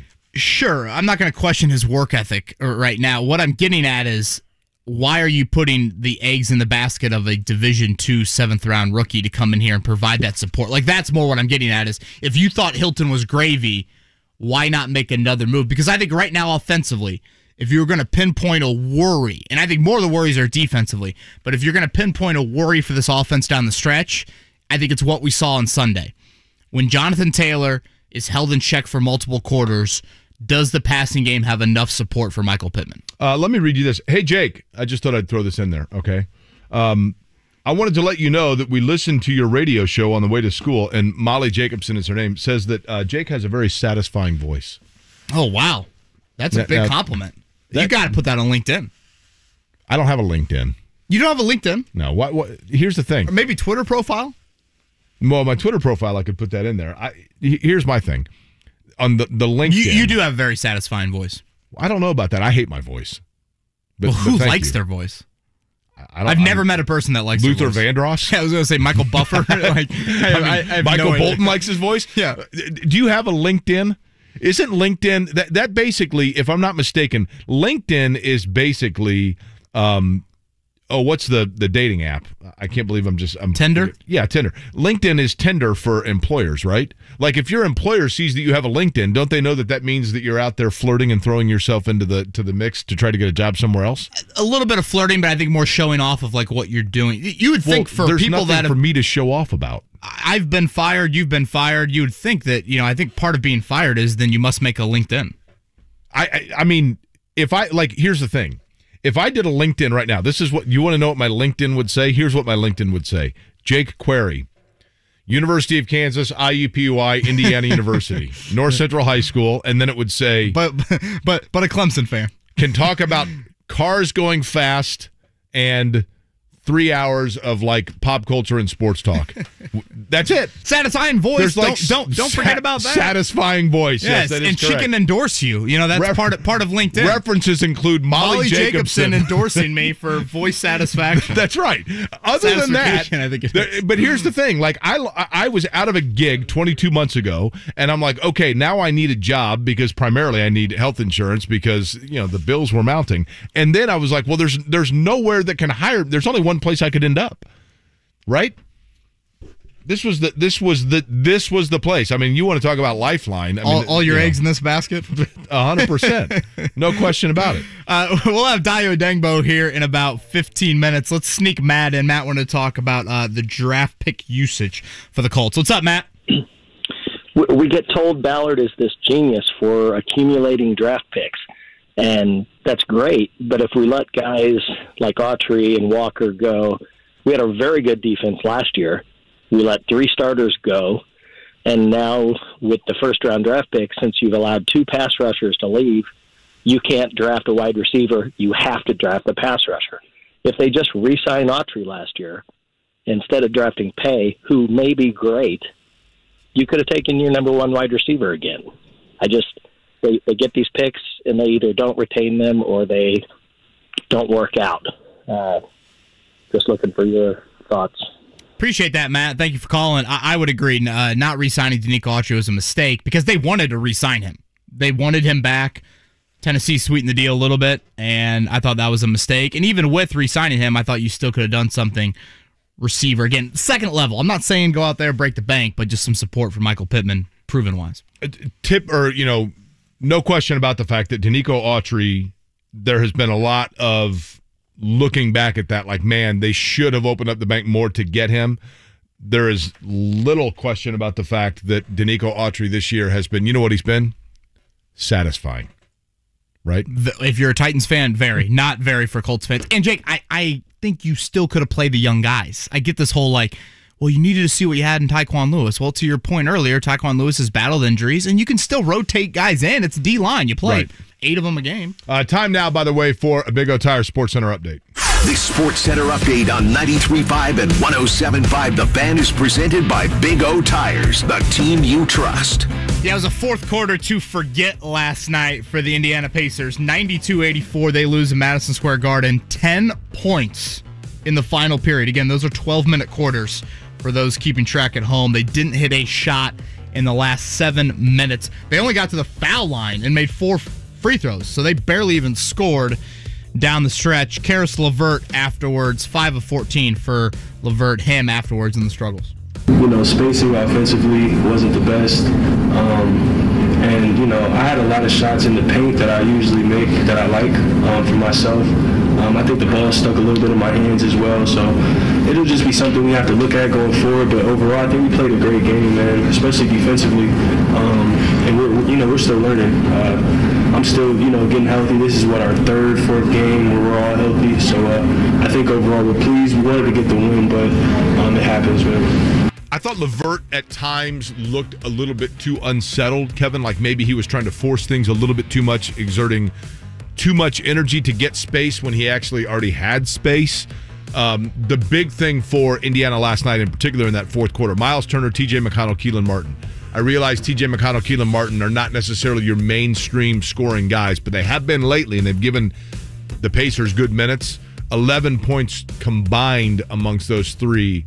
Got to get better, especially out of Myles Turner, who, yes, he's a popular subject to point out, but come on, man. One of four, you got to get more field goal attempts out of Myles Turner. When I hear the phrase "the ball got stuck," I also think of little hero ball from Caris LeVert. That's fair. Uh, now I get it. You know the Pacers are trying to find a go-to guy late. That's something Levert has done, but still, I thought last night, really, the Knicks their their defensive pressure was really impressive. It was a great atmosphere in Madison Square Garden, but definitely one the Pacers let get away. Sabonis Do you know twenty-one and fifteen. What a Knickerbocker is? Did I have I asked you that before? Um, you haven't, but I know you're about to tell me. Do you know? It's. A, I mean, It, and I'm has been a while since someone told me, and I and I already forget. I believe a Knickerbocker is a settler, a Dutch settler in the New York area. I believe. I could be wrong in that. Boy, man, the Dutch really got the big win in that nickname category. Okay, according to Wikipedia, which is all knowing, uh, a Knickerbocker refers to people or objects from Manhattan. Well, that's it. So where's the Dutch? I, I, I'm telling you, like they're the mascot for the the Knickerbocker fella is a little guy. He wears the little Yeah, pants, I've- obviously, yeah, right? I know the pictures. It's not Spike Lee. That's not the mascot. he, he kind of is now, right? Here we go. The term Knickerbockers traces its origin to the Dutch settlers who came to the New World. Hallelujah.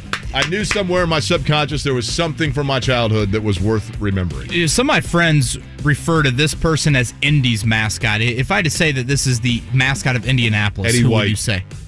Exactly. Ha- have we had this conversation No. before? Is that who you were thinking, Yes. really? Eddie White. Are you serious? Dead serious.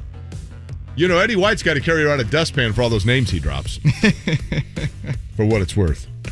Uh, the greatest postgame show, Eddie White. They will have your coverage after Mark Boyle He is entertaining. and Pat Boylan on Wednesday. It'll be the Pistons on the road, Hornets on the road, back at home against the Pelicans. That starts 10 of 12 at home. Finally, the Pacers get a stretch here inside of Gainbridge Fieldhouse. No Chris Duarte last night, right shoulder soreness, so the rookie missed, I think, his first game of the season.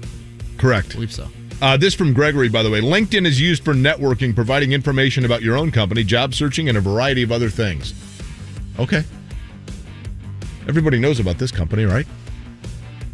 I mean, let's not let's not rip on Gregory. He's just simply putting No, no, out no, there. I'm not ripping on him. I'm just saying, like, like job searching. That's what I mean. See, it's like I said. But he also says information about your own company. You want people to know about you. Maybe you're trying to recruit prospective people. I'm telling you, I think what it means is here's my resume. Swipe left or right. We we work in a very cynical industry where you know tomorrow No doubt. you don't know what's going to happen. No Uh, doubt. I, you know, my, my wife works for a company that just got bought. I'm thinking to myself, geez, Well, that's that's a little bit of a different. Like I said, Todd Meyer wanted to know why I haven't decorated my cubicle yet, and I'm like, because do you know how easy it is to walk out after you get fired when there's nothing to grab? Right. Nope. Just got one box, the elevator button. I still got to press. I got a laptop somewhere underneath the seat of my car you guys gave me six months ago. I'll bring it back tomorrow. The early line, Colts and Bills Sunday, underdog by seven, Indianapolis. One o'clock kick from Western New York. Can't wait to see who the broadcast crew, and that is announced later today. You love the broadcast crews. that that is to you very indicative, is it not, of the Very. quality of game? Very indicative. Um, you know, Jake, don't look now, but like the Bills have got to keep pace with the Patriots, or at least stay above them in the AFC East. They have not played New England yet. So when you look at this game, this is an important game for Buffalo and saying we don't want to get in, in the wild card picture. Hey, Buffalo would love nothing more than to get a win against the Colts and then have the Colts turn around and do them a solid, right? By making sure that they'd love to they'd love to knock around the Colts, but not knock them completely unhealthy because they need the Colts to turn around and, obviously get one over New England. And the flip of that, the Colts would want Buffalo Correct. to beat New England with those right. meetings still happening twice here to end the year. Uh, the Bucks next Sunday, uh, they it doesn't look like they'll have Vita Vea, one of the better run-stopping defensive tackles in the league. So looking ahead to next week, that's a big loss for the Buccaneers. Between as they come Buffalo and New Oil. England, Kevin, which of those two teams to you seems at right now, which one strikes more fear in you? I think it's still Buffalo. And if we weren't in this market, I don't even know if we would debate that. That's probably true, but New England's offense is starting to hit some cylinders that, and Buffalo has shown there is the possibility of them hitting a rut, right? Offensively speaking. It, it is. I also think it's just how much of this is a two week stretch that we have this mindset. But to be fair, what New England did yesterday or Sunday, I mean, no, I don't. That was damn impressive. And listen, we talked about it with Jeff Saturday like a month ago or something like that. But, you know, Mac Jones, yes, he walked into a very good situation, but man, you got to give him a lot of credit. He's got, he is really accurate in where he puts the football. Jake, I thought he was one of the hardest quarterback prospects ever to evaluate. He played with a bunch of creative players in college. Give him credit, like you said, for what he's done. New England, by the way, Thursday night football at Atlanta. So get your dirty bird, uh, Jamal Anderson, ready because uh, the Colts need the Falcons in that one. Tonight, Purdue takes on Wright State at Mackey. That's a 7 o'clock tip from West Lafayette. IU's got St. John's tomorrow night as the Big East Big Ten Gavitt games continue. Butler, a part of that, they're going to host Michigan State. So some really nice non-conference games there in Indy over at Hinkle and then Bloomington tomorrow night. And by the way, Ashley wanted me to mention shout out to IU women uh, up to number four that? in the polls. They beat Kentucky. Saw a great sign. I think Dan retweeted this yesterday. Um, at least the Kentucky women will come to Assembly Hall. That's right. I, you know what? That, I, I watched some of that game. Um, Indiana, that was a, a relatively close game in the first half. Indiana got like a half court shot going into the intermission and then really pulled away in the second half. And they But bring back are- like everybody Yeah. from that team that went pretty far in the tournament last year. So shout out to Teri Moren and regional finals, and right? the Hoosiers. Yeah, Arizona, right? I think Arizona beat That's them. right. Yep. last year. All right, quick college football rundown. IU Minnesota Saturday. That is a I want to say 3:30 kickoff. Might be noon. I got to double check that. Minnesota favored by 5 senior day in Bloomington. Purdue's at Wrigley Field taking on Northwestern. They're favored by nearly 2 touchdowns in that one. Senior day in South Bend as well. Notre Dame's got Georgia Tech 18 point favorite. Notre Dame's best player Kyle Hamilton officially ruled out for the year. That'll be interesting to see these college football rankings tonight if Notre Dame gets in the mix. Um, and I should say ruled out for the rest of the regular season. Brian Kelly made it clear yesterday if they somehow got in the playoff, Hamilton could still be available. Notre Dame got some assistance by Oklahoma getting beat, but for the most part, you know, the top what five or six probably going to stay true to form, right? Right. The big thing that Notre Dame needs down the stretch, they need Oregon to lose to either Utah this week or Utah again in the Pac 12 title game. And really, Jake, your team, the team that you like the best right now, Ohio State, if they can kind of just take care of business in the Big Ten, then really the help that Notre Dame needs again is Oregon and just I think the Big 12 to kind of beat each other up. If that happens, we'll see how it all plays out. But I'm still, telling you, man, Ohio State's going to win it all. you know, right now they are the second favorite. I thought Alabama would still be ahead of them. Right now, Ohio State is favored above Alabama. Yeah, I'm telling you, Ohio State's going to win it all. Now they might have to play Alabama because it may be two three depending on what happens. But now, that do you- SEC title game would Alabama close. get knocked out if Georgia beats them in the SEC title game? I mean, two loss Alabama. I would think, unless that- it's on like an overtime field goal, maybe. Right, but no, I, I think if yeah, I think if Alabama loses, they are likely out. By the way, speaking of in, Dayo Odeyingbo is in in terms of being on the show. At least that's in about five minutes. You're listening to Kevin and Query.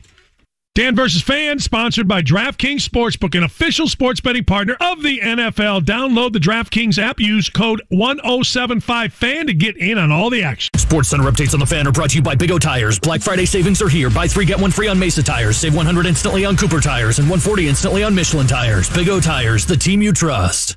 You know, I, I know it might sound crazy, but two weeks later, I think I'm still feeling a little bit of pain from hauling my daughter and nephew around in the old wagon on Halloween. And if you're dealing with chronic joint pain or not having success with steroids but trying to avoid surgery, thankfully there is a better way to attack it, and it is now available from the medical professionals at QC Kinetix.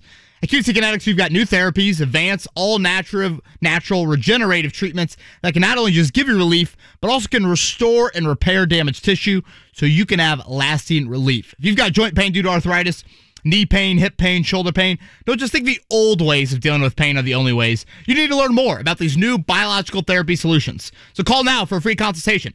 QC Kinetix, 463 235 7160. These remarkable new treatments increase mobility, decrease pain, help restore tissue. They actually encourage your body to heal itself.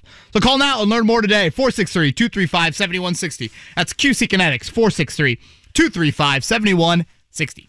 Hey, it's Big Joe for Ryan Kelly, the home loan expert. You know, I called Ryan a couple of years ago at 317-550-1515, but you can also go to the website, thehomeloanexpert.com. And what I wanted to do, I wanted to lower my term, and I also wanted to pay less money every single month. And I got both of those things accomplished, but you can also do a cash out refinance. If you're a service member and go to heroloan.com, Ryan Kelly can help you out there. And also, if you belong to a union, any union, like the Teamsters or the electrical workers or the pipe fitters or the carpenters or even the police officers. If you belong to a union and you close a loan with the home loan expert, they'll go ahead and give you a $500 gift card at closing. You can't beat Ryan Kelly. And right now, with the financial sector in such flux, we've got interest rates on the rise because of inflation. You just don't know what's going to happen out of Washington these days. You need to make sure that you are protected. Get a hold of Ryan Kelly right now. Do it today. 317 550 1515 or go to thehomeloanexpert.com. There has never been a better time to work at Amazon. They are offering sign on bonuses up to $3,000 and pay up to $24.50 per hour. Many jobs come with great benefits that start on your first day, and Amazon offers a variety of paths for career growth. They have flexible shifts and schedules, and you can start in as little as seven days, so you'll be earning extra income just in time for the holidays. Go to Amazon.com slash apply to get started today. Amazon is proud to be an equal opportunity employer. Spectrum Mobile is reinventing wireless again. Get unlimited on two plus lines for $29.99 a month per line. No contracts, no added taxes or fees. Includes nationwide 5G. Save up to 60% with Spectrum Mobile. Get unlimited on two plus lines for $29.99 a month. Call 855-438-2999 or visit a store near you. Offer valid for new customers on two plus unlimited lines. Spectrum Internet required. Savings based on two-line comparison of unlimited plans among major national carriers as of 9-2021. Prepaid excluded. Restrictions apply. The Ride with JMV. Having a fantastic season. Michael Pittman Jr. with us. How much do you play off of the threat on every single play that Jonathan Taylor has become? It really just, they got to stack that box. When they do that, we take shots. When we're going off, then they got to drop people deep and then just hand it off to him, and he's going to take it 80 yards. Dude is blazing fast. The Ride with JMV. Weekdays 3 to 6. On 93.5 and 107.5. The Fan. Man, I love BT.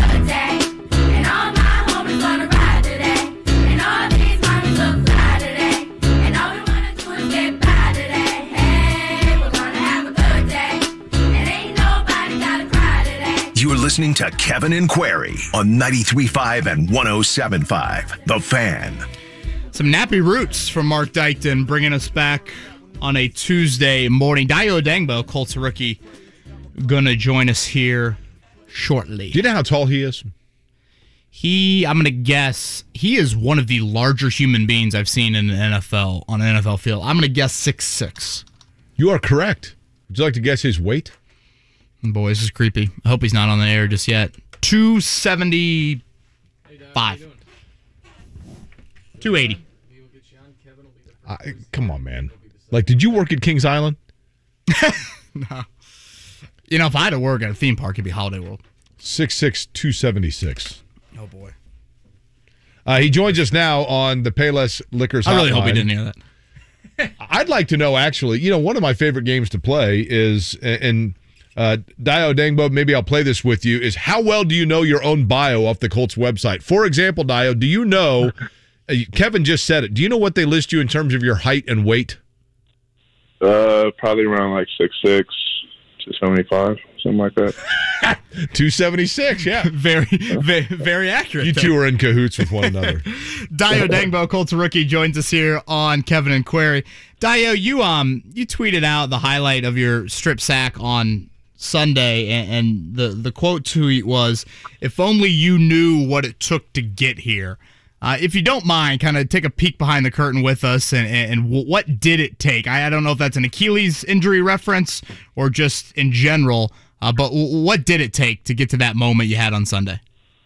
Yeah, I mean, it's definitely a reference to uh, kind of all the adversity I've had or kind of gone through. I mean, throughout life, and definitely in the last year with this Achilles injury and just kind of uh, the transition to the NFL. So, um, yeah, I mean, it's really kind of.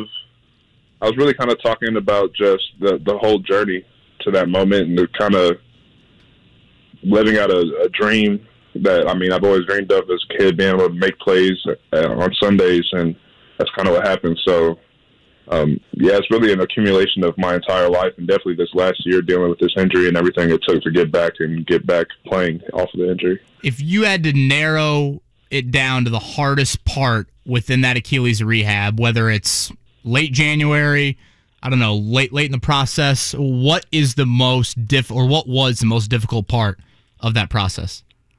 Uh, for me, I feel like it was definitely the beginning of the.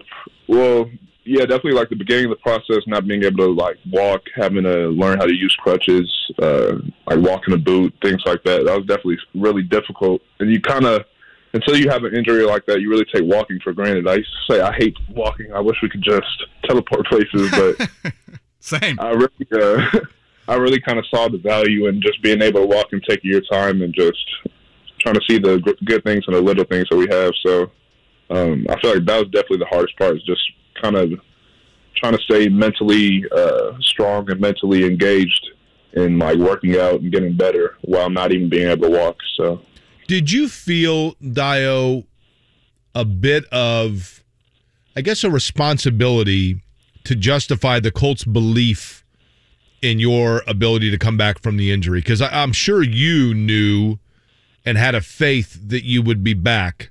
but there were probably NFL teams that were hesitant with you, and the Colts were not. Did Yeah. that resonate with you?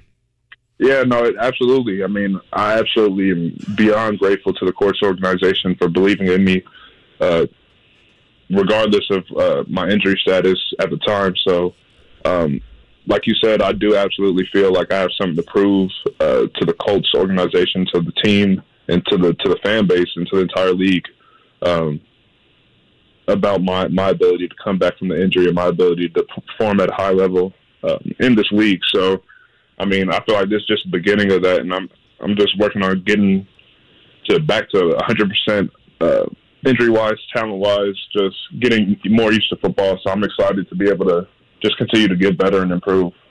He's Dayo Odeyingbo, Colts rookie, had the strip sack to clinch it on Sunday against Trevor Lawrence and the Jags here on Kevin and Query. Dayo, uh, talking to Eric Fisher a few weeks back, he mentioned kind of the final 10% of the Achilles rehab. Um, he has heard is kind of the most difficult, like getting that explosive element back. Um, is that something you've experienced? And I guess if you had to put a percentage, what would you say you're at right now? No, yeah, it absolutely. Um, it's definitely kind of the hardest thing to get back is that little explosion at the end, um, and it's kind of something that you have to play football to be able to get back. So it's not really something you can get back before you're kind of in the game. So um, I'm definitely working my way back, and it's getting better every day. I don't know as far as percentage.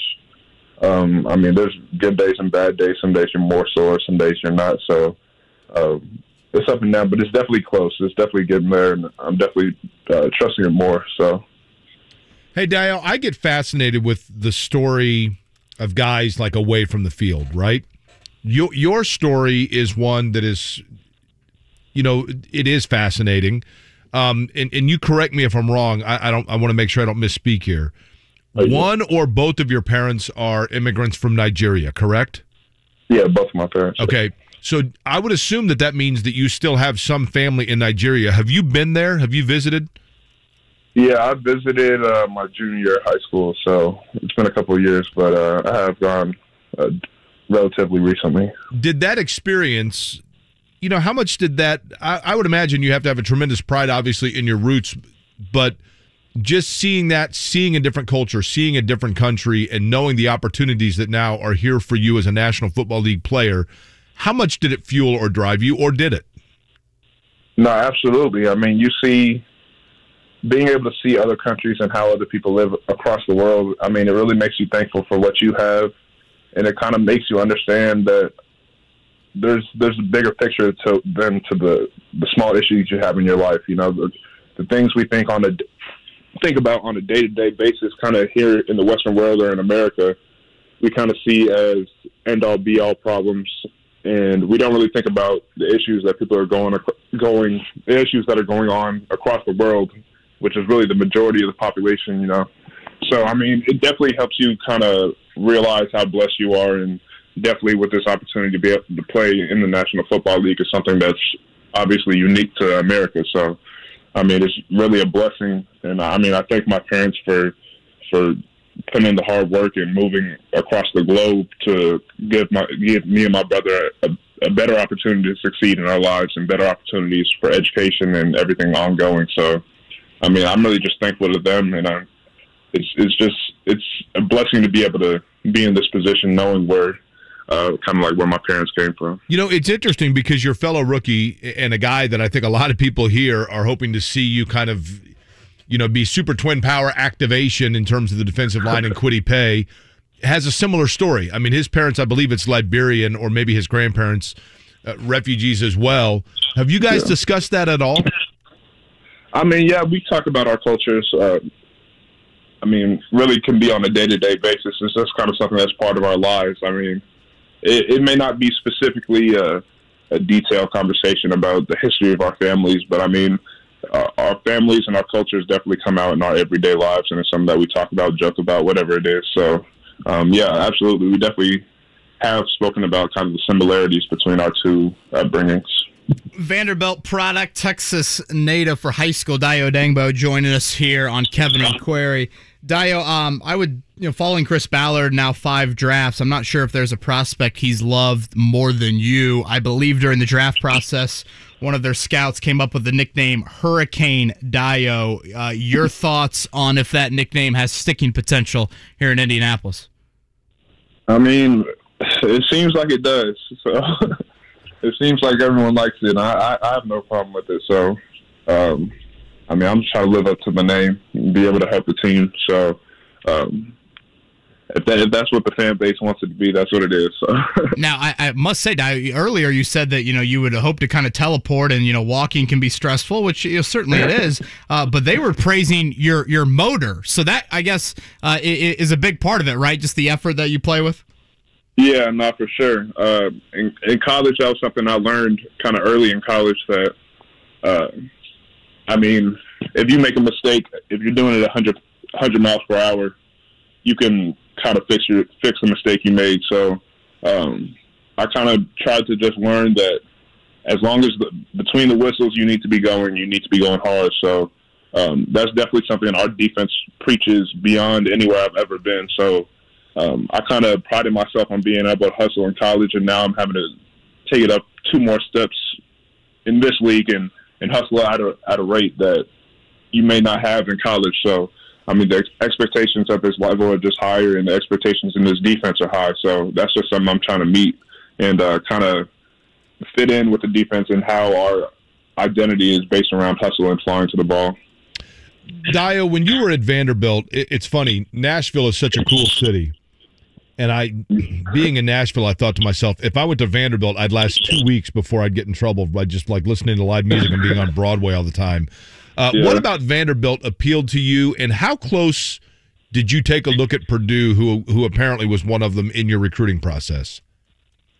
Yes, um, for me, so my older brother went to Vanderbilt, and um, he also played football. We had never played football together on a team before, so that was kind of a big factor in going there. And then him being there, I just ended up being around the coaching staff, being around the team on campus all the time. And once offers started rolling in to Vanderbilt, Alfred, um, it was kind of I kind of always knew in the back of my head, but I mean I was still trying to be open to the process, and my mom definitely was leaning towards me going to Vanderbilt. Obviously, a great academic school and everything, and definitely made it easier on her us being in the same place. So, um, yeah, I mean, uh, well, academically speaking, what was your major at Vanderbilt? Because eh, like Vanderbilt's no joke, man. I mean, you're talking about one of the great yeah. universities in the country. Yeah, my so my major is medicine, health, and society. So okay. Yeah, I, I he's going to have a LinkedIn yeah, one day, say, Jake. You know, that's probably medicine, health, and society. Yeah. Okay. Well, that's that's a far cry from an English major at IUPUI. you know Dayo, uh, before we let you go, favorite thing about Indianapolis so far? Uh, my favorite thing about Indianapolis, besides the snow you saw Sunday morning to greet you on November fourteenth. Yeah, the good early in the year snow. Yeah. Uh, my favorite thing about Indy, probably all the roundabouts. oh man! So you live in Carmel, yeah, I was gonna say you, you must be a Hamilton County resident up there. Yep, up here on the north side, there's definitely a lot of roundabouts everywhere. I've never seen anything like it, but I kind of like it. You know, someone that grew up in Carmel, I hated the construction of it, but nowadays, Jake, whew, highly efficient. Oh, the roundabouts yeah. drive me nuts, man. Before I know it, highly all of a sudden efficient. I'm in Crawfordsville. yeah, if not paying attention, you'll end up on the wrong side. exactly, exactly right. right. Did I just go in a full circle here? That doesn't happen. Dayo, just so you know, not paying attention is not typically a characteristic of a medicine, health, and society major at Vanderbilt. You know what I mean? Yeah. Dayo Odeyingbo, again, the strip sack that ice things on Sunday was an awesome highlight. Your reaction, I think, spoke to your tweet as well, just what that meant to you, Dayo. We hope for a healthy end to your rookie season and hopefully more of those big plays. Thanks for joining us, man. No, thank you, thank you for having me. I appreciate it. That's Dayo Odeyingbo right there. Again, the second round pick out of Vanderbilt. Pretty impressive, man. I mean, um, like I said, I mean, when I was in college, three things I didn't know about at all medicine, health, or society right? Right. So like, or Vanderbilt, I don't believe was an application process for Jake Query. that was not. I'm going to go out on a limb there. Yeah. No, I took one of those huge phone book looking things that had colleges in it, and I went all the way to the back to the least competitive section, and those were the schools to which I applied. Nate Atkins, Indianapolis Star, new writer for the Star, covering the Colts, joins us next. This is how we reinvent banking. Every week or two, your paycheck comes through. Steady like a stopwatch, easy to view. But if your bank knows that your checks will drop like clockwork, can't they speed it up, huh? Enter Huntington. Punchline, please. Where your paycheck's delivered up to two days early. Get your paychecks up to two days early. That's how we reinvent banking. Huntington, welcome. Direct deposit and eligibility requirements apply. Learn more at huntington.com slash early pay. We've got basketball on our minds. With football already being back, there are tons of action over on Prop Swap. For those that don't know, Prop Swap is the only place in Indiana where you can buy and sell sports props. It is the place for the best odds in the country. The arrival of basketball has all sorts of NBA team and player props available, plus an intriguing college basketball season for our local teams, which is an avenue that you can explore if you're looking for a little extra rooting interest over on PropSwap. One of the things I love the most about PropSwap is that you can cash your ticket even if your player or your team does not win. Once the odds of that ticket has shrunk, that's when you can put it up for sale and you can sell a ticket at any point during a game or season. Remember, if you're looking for the best odds in the country, look no further. PropSwap is a way to win bigger at sports betting. There's never been a better time to join. Use promo code FREE100 to receive a 100% deposit bonus up to $100. Check out PropSwap.com or download the free PropSwap app today. Hey, guys, no pressure here, but if you really want to make this the best holiday ever, ask her already. What's more romantic than a holiday proposal? Come to Shane Company to see our amazing selection of unique engagement rings, crafted to last forever. Our warranty is free for a lifetime, and it even covers the center stone. No matter your budget, we'll help you create the perfect ring. We also have rings already set with a center stone, ready to go. And let's talk about center stones. All of our diamonds are conflict free and natural, handpicked for their beauty. And Tom Shane personally selects our rubies and sapphires in Bangkok. We have so many center stones to choose from. Plus, we're a direct importer, which means we pass the savings on to you. All right, guys, make it happen. Book a virtual or an in store appointment with a non commissioned jewelry consultant or just drop by the store. Check our website for hours. Now you have a friend in the jewelry business. Shane Company and ShaneCo.com. Hi, I'm Ryan Kelly with thehomeloanexpert.com. This year, our average client received over $52,000 with an easy cash out refinance. What would you do with an extra $52,000? Pay off those high interest rate credit cards? Maybe start a business? Or knock out those home improvement projects? Let's make those dreams a reality today. Mortgage rates are near historic lows. Apply for your cash out refinance today at thehomeloanexpert.com. The Home Loan Expert LLC, NMLS number 1326241.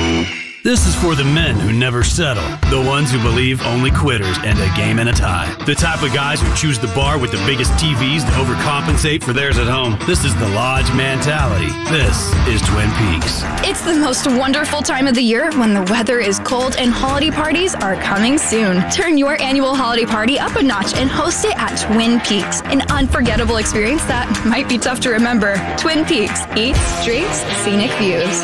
For the first time in the history of Hard Knocks, HBO and NFL Films are teaming up for an in season edition of the Emmy winning sports reality franchise.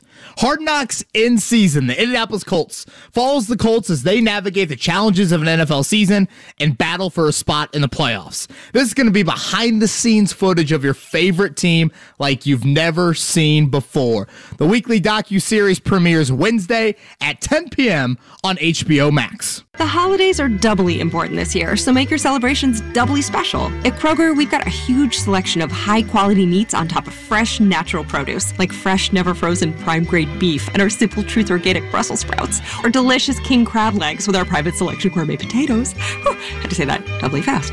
Kroger, fresh for everyone. It's time for fresh crisp apples. And right now, Honeycrisp apples are a special deal at only $1.27 a pound with your card. Kroger, fresh for everyone.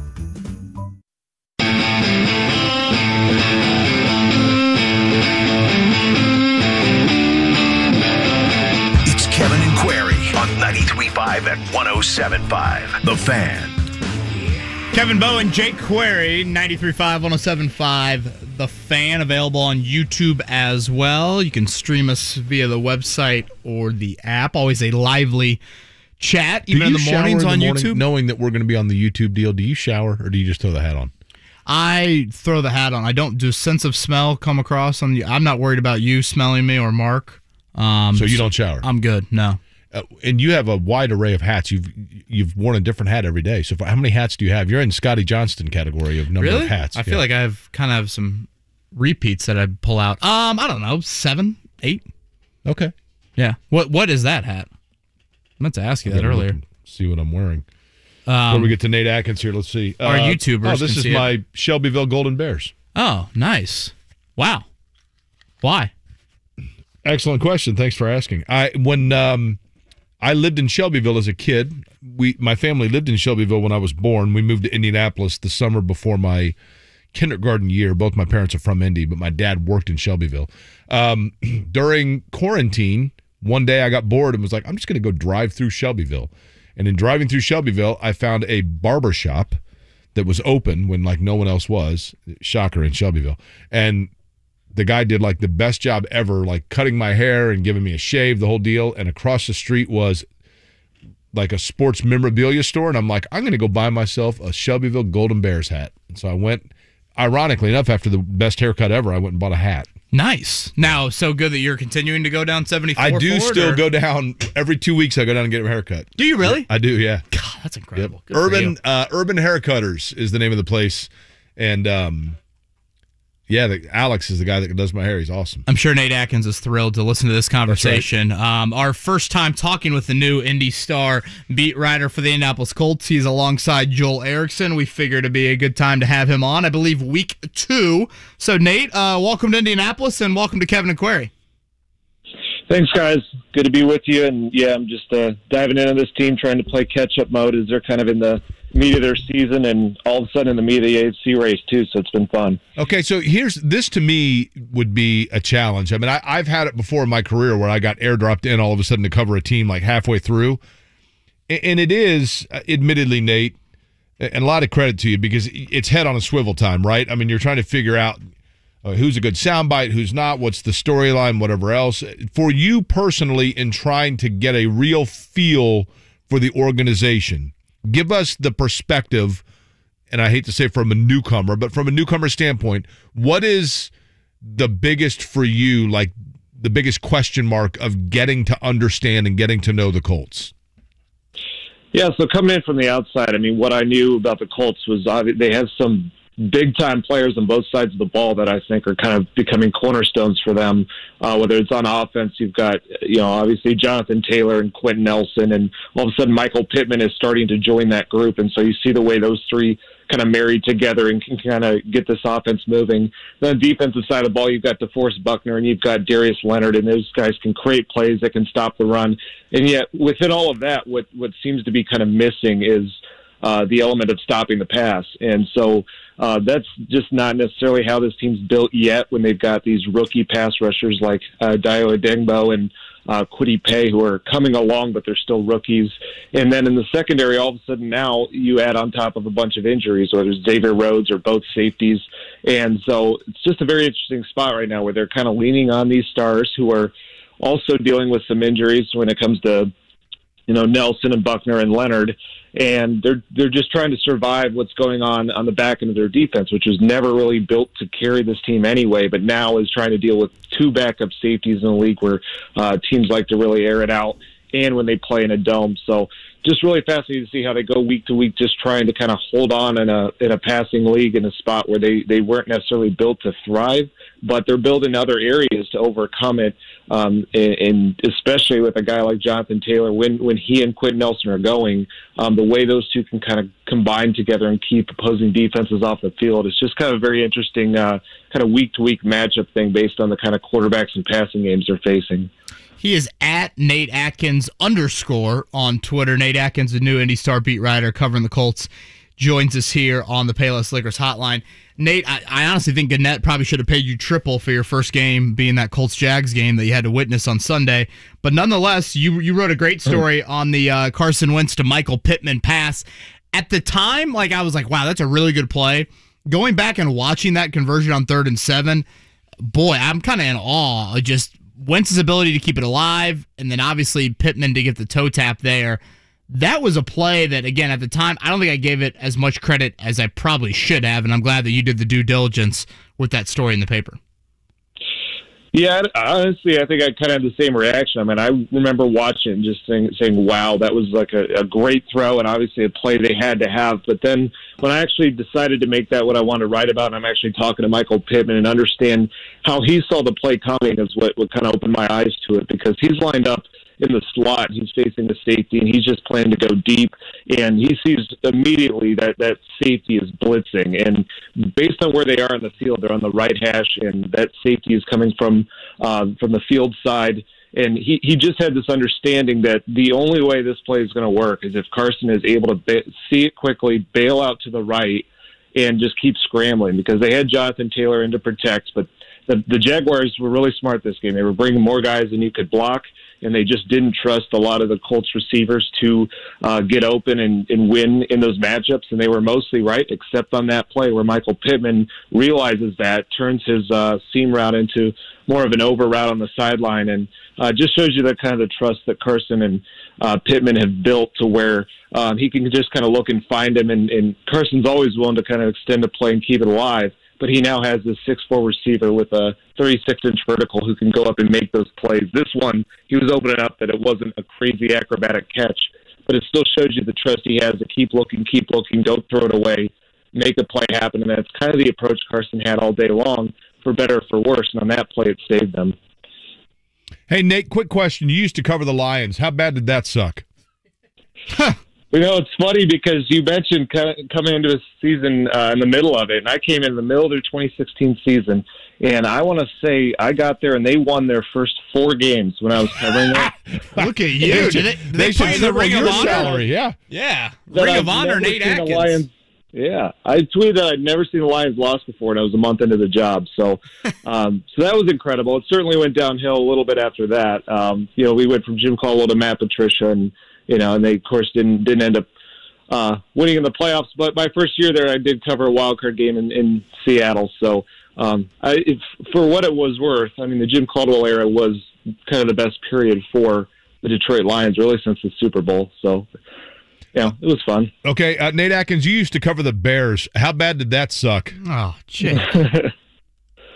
well, I had to cover a, had to cover a, a, coaching search after one season there, so that was not a lot of fun. That's when they went from Marc Trestman to John Fox, and uh, yeah, that was that was certainly a weird time. You know, the, the interesting thing is each team I keep covering always has this quarterback who's sort of polarizing, has been traded. It went from Jay Cutler to Matthew Stafford to Carson Wentz. So it's just like I'm always around these quarterbacks that either just amaze you with the plays they make or they just make dumbfounded plays and they get traded. You know, so. kidding aside, Nate, it is true though, and I think that we lose sight of this. When it really comes down to it, covering teams in the NFL, there are certainly a lot of things that just kind of translate from one franchise to the next, right? Because it's the same the faces might be different, but the formula for trying to become a winning franchise is the same across the board, right?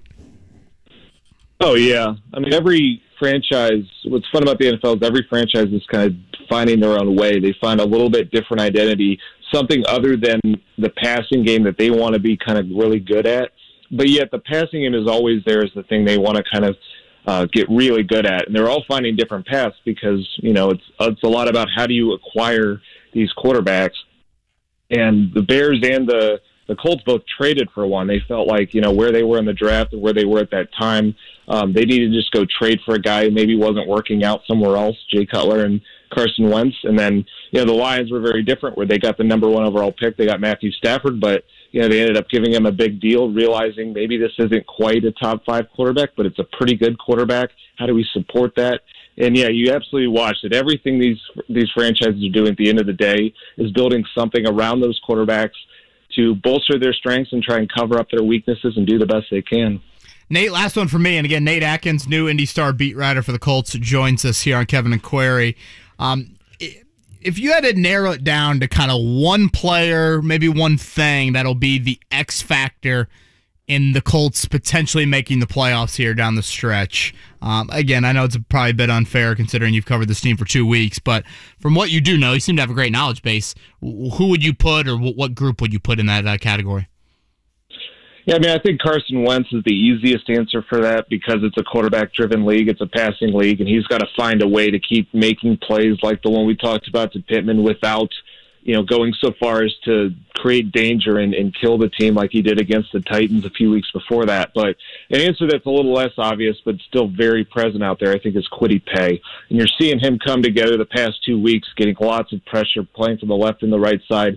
And then this past week, you know, got his first sack, got three quarterback hits, and he's been frustrated that, that the sacks haven't been there for a first round pick and that he's been hobbled by a hamstring and by an ankle injury.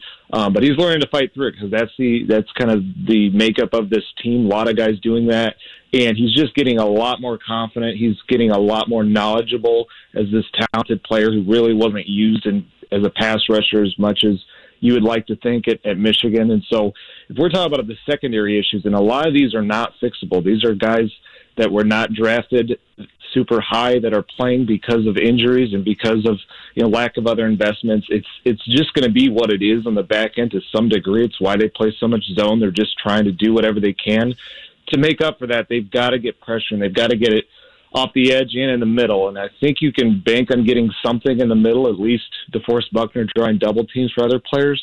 But to really make it work, you got to get something off the edge. And Kwity Paye is starting to show that. He's starting to feel that. If he can play like he has the past two weeks, the rest of the season, and stay healthy, which is still a big if, you know, I think the Colts have a real chance to kind of survive that back end enough to complement an offense that, for the most part, has gotten into gear. So I definitely think it's Kwity Paye. At Nate Atkins on Twitter. That's N A T E A T K I N S, and then the underscore. At Nate Atkins underscore on Twitter. Nate, welcome to town. Appreciate the time. We look forward to talking to you as the season progresses for the Colts. Thanks, guys. Happy to be here and happy to do it anytime. All right, Nate, Nate Atkins, Indianapolis Star. Up next, back to last night's fourth quarter House of Horrors, but some good things as well for the Pacers, and now perhaps a reprieve for the next three games. Jeremiah Johnson will join us to talk about exactly that as Kevin and Query hits the 9 o'clock hour here, 93.5, 107.5 The Fan. Get to CarX today. Buy two tires, get two tires for free with the purchase of our premium installation package. Receive an additional $70 on the purchase of Continental tires. CarX Tire and Auto online, CarX.com today. Now, you don't get to play as much as the offense and defense, but it must be cool to be called special teams. It just sounds good. What team are you on? The special team. That's tight, right? Oh, if you're a fan of special teams, you can just bet on those. My sportsbook app has prop bets, so have at it, people. It's a special Must be 21. If you or someone you know has a gambling problem and wants help, call 1 800 9 with it. Well, Ryan Kelly is the home loan expert, and you can reach him at 317 550 1515 or just go to thehomeloanexpert.com. And Ryan, there are a lot of Hoosier families out there right now worried about money. You offer a cash out refinance option that can help take those worries away. Absolutely. And I got to tell you, Big Joe, it's probably one of our most popular loans right now. Sure, we're doing a lot of purchases and helping people get into the home of their dreams. And we're doing a lot of those easy rate and term refinances where we just go in and lower your interest rate. But I mean it when I tell you, probably the most popular loan we're doing right now is that cash out refinance. And why wouldn't it be? Think about it. Mortgage interest rates are sitting near these 50 year lows and we're locking loans in the low 2% range. And home values are skyrocketing, which means you have a ton of equity just sitting there. Apply for an easy cash out refinance. Pay off those high interest rate credit cards. Make those home improvement projects a reality or just stick some cash in the bank. Apply today at thehomeloanexpert.com. Thanks, Big Joe. Hun, have you seen this internet bill? Why'd the price go up? I don't know. Did you change anything? No. Did you? You switched us to those fancy coffee beans. Maybe you're on a roll, making everything more expensive. Did you suddenly inherit money you didn't tell me about? Whoa. If your internet bill is giving you trust issues, you're not a bad partner. You just need a straightforward price. Maybe we switch to decaf. Get AT&T Fiber. Equipment fees are included, and with no price increase at 12 months, there are no surprises. Limited availability in select areas. Visit att.com slash faster. 93.5 and 107.5. The Fan. WIBC HD2 W298BB WIBC HD3 W228CX Indianapolis. The Pacers are in Detroit to take on the Pistons. Tomorrow evening at 6.30 on 93.5 and 107.5. The Fan. It's Kevin and Query. What the hell are you doing, John? Come back and get it. Charlie, come back toward the ball. If he's coming, I'm going to engage him, and then I'm going to slip out into the screen. Concentrate, get better. Say to yourself, I gotta get better. On 93.5 and 107.5, The Fan. Nine o'clock hour, Kevin and Query. It's Kevin Bowen and Jake Query. Again, the debut of Hard Knocks for the Colts tomorrow night at 10. That follows, uh, honestly, a busy night. You got Butler, Michigan State at 7 tomorrow night. You got Pacers at Pistons at 7. IU St. John's, I believe, is a 9 o'clock tip. So Wednesdays, typically this time of year. When are we on Busy Hard nights. Knocks? That's what I'm most worried about. do we know? We do not know. Which I one thought- did he? I, I, thought the believe guy- they said the second episode is what they were kind of shooting So for. So the upcoming is the first one, right? Tomorrow night's the debut, correct? So then we're in, and then episode two, it's mostly us, right? Well, I think we might be just if the season really goes off the rails, that's when we come in. You think so? If things go well, we'll be on the cutting room floor. They'll be like, yeah, forget that. Yeah. You think so? We brought some gold yesterday, I think. Yeah, I, I, I don't. I, had like I, put on makeup and stuff. I, well, yeah. As soon as you brought that out, I was like, man, the big wigs are here. Speaking of big wigs, you know, I'm always curious about, and I don't know how much makeup Jeremiah Johnson Hey, wears. You realize, Kevin, every time that you are swearing me or or damning that that you have to now work with me, the the guy that we have on next is the person that you need to th- hold that against, right? Because he's the guy that locked me this position. Jeremiah, oh yeah, he filled in when I was out, right? Yeah, They- Jeremiah. they- Jeremiah was the last when you were gone, and I filled in for you. They they asked me who I wanted to come in, and I gave like a long list of, of names, and they said no no no we're, we we want heavy hitters, we want big time, and I said well, I, and then I said well. Uh, Jeremiah Johnson is a guy that I could bring in, and they said the the brewer from Montana, and I said no, but he makes great beer. The guy from the Pacers, and they well, you can't get him. There's no way you can. And when I did, then they said, my God, you've got Eddie White level connections, and I said, oh yeah. and, and Jeremiah came in, and then they offered me the job. Jeremiah, that's how it went down, right? I hope that story is told on Hard Knocks because uh, that's, that's what people need to know, right? That's right. Yeah, JJ, I was thinking this last night. Obviously, a lot gets made over the wardrobe of Clyde Frazier anytime uh, the Pacers are playing the Knicks. But how about the wardrobe of Jeremiah Johnson? I've always wondered this. You pull out some suits that I just sit there and think to myself, not a chance in hell could I ever wear that or pull that off. And I've always wondered, does Bally Sports have a clothing connection for Jeremiah Johnson, or where do you have this wardrobe that is uh, Michael Grady like? I know this. Well, my wife uh, used to work at Nordstrom Bingo. until about two years ago. So uh, I had a, a company discount that helped. And, um, you know, each year you add one or two. And by, you know, 15, 20 years of doing this, you all of a sudden have, a- have a pretty big closet. So luckily, most of those still fit. Uh, I like to think I'm maybe, you know, Craig Sager had his own unique style. And I don't want, you know, I'm, I'm not that I'm, I'm not, not at that end of the spectrum, but I like to have a little fun. And you, you think of, uh, you know, Chris and Quinn, they're the announcers. They're giving you all of the facts, the meat and, the, and potatoes. Sometimes I've got to add a little flavor to the broadcast, and so that's what I try to do. And the one thing I do have the benefit of with my wife is sometimes putting the shirt with the pocket square with the tie.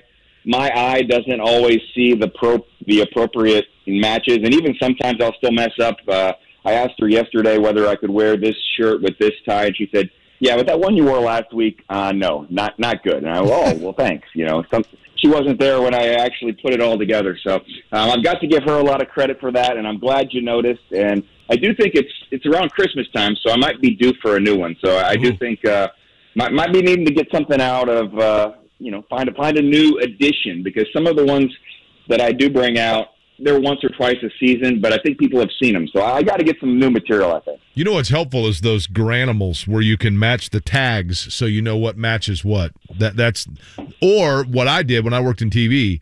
I actually went. I think it was to Nordstrom, Jeremiah. I went to Nordstrom with like eight jackets and a bunch of ties. And a guy actually wrote down for me what tie went with what jacket, and I put it inside the little pocket. So I like I wrote it down and put it in there, so then I knew.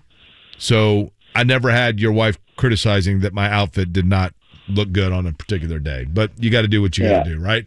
What I Um, like to do is mix and match. And when I would be on the road, that was one thing you could do is you could, you know, five or six game road trip. You've got to kind of change up your shirts and ties a little bit so each outfit looks different. Hey, last night I We're, thought we're the- getting sidetracked. Well, I was Well- gonna say JJ's probably thrilled we're not talking about the fourth quarter. That's right. Well, the fourth quarter, the Exactly. Pacers, I thought, tried to mix and match what they wanted to do, but they went a little too much. I thought Caris LeVert last night, JJ, um, went a little bit like was expending extending too much energy, was playing almost too excitable at times, trying to be the guy. And I know that Caris LeVert in time probably is the guy in those moments. But is this a team that is still trying to figure out who their exact go-to player is in late game moments? I think so. That was just the third time all season that we had seen Caris LeVert and Malcolm Brogdon together. And so for so much of really the last couple of seasons, Malcolm Brogdon has the ball in his hands late in the game, and we've seen TJ McConnell be able to generate offense. But Caris LeVert brings a little bit of a different dynamic, and I think he views himself as someone that late in the game can be the primary ball handler. But the offense is a little bit different when he's doing that. And I was thinking about that this morning in that in the first half, I was watching him get into the paint and make some really impressive passes and, and do some things that made me think he's that playmaker that you like because he can score, but he sees the open man. Sometimes it's human nature late in the game, in a close situation, the guy that you think of as your go to guy sometimes maybe tries to do a little bit too much. So maybe that was a little bit of the case. I think the Knicks really just you know, ratcheted up the pressure to the point where the Pacers couldn't get into early offense, and so much of the time they were shooting with five or less on the on the shot clock, or they were trying to you know start offense with ten or twelve on the shot clock, and that becomes clear out. And and Caris LeVert was trying to you know, like you said, probably do a little bit too much. So I think of that fourth quarter as being something that is an early season growing pains, and, and they will figure it out a little bit. And if they can have some more time together while being healthy, uh, that that can work itself out. I mean, I know we're supposed to hate the Knicks, but I was damn impressed by their defense in that final quarter. JJ, honestly, I think it's kind of Pacers like in, in, in, the style that they play, or at least what, what you would hope um, down the road there. Jeremiah Johnson, Bally Sports, joins us here uh, on the Payless Liquors hotline. Kind of expanding on Jake's question to you.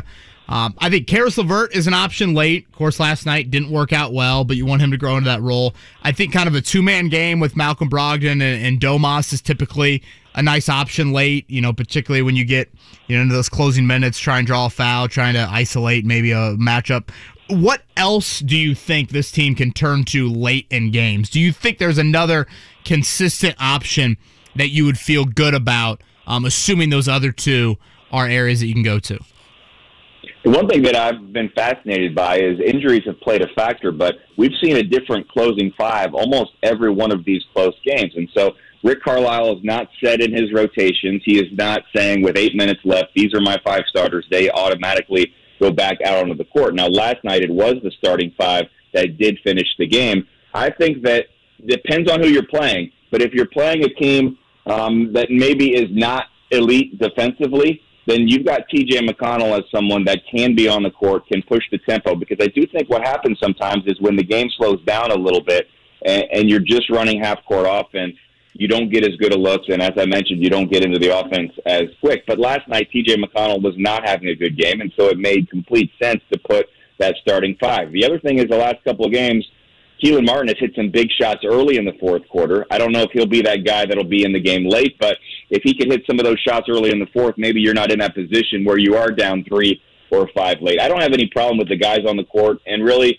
um, you want to be able to trust Caris LeVert. I like the two man game, probably with Brogdon and Sabonis, um, from what you mentioned, as as much as anything. And I want Myles Turner on the court for his defense, but I want him to be a little more impactful offensively. Maybe it's just crashing and getting an extra offensive rebound or two. If he hits that three pointer, I think it was from the corner uh, midway through the fourth quarter, maybe things change. But he just wasn't as involved offensively in that game last night. So I think each game brings up a different situation. To your point about the Knicks defense, uh, as much as I was annoyed watching Tom Thibodeau argue with the refs every single time they went up and down the court, I do think his move of putting Kemba Walker and Evan Fournier on the bench was probably the move of the game because when Quickley Malcolm was Brogdon incredible. was guarded, yeah, when when Malcolm Brogdon was guarded by either one of those two guys, he saw a green light to the basket. And even though Walker started the game well offensively, neither one of those guys could handle the Pacers guards. But then you put in Quickley, you know, Rose, uh, those two guys, Burks, they played a different level of defense and they made things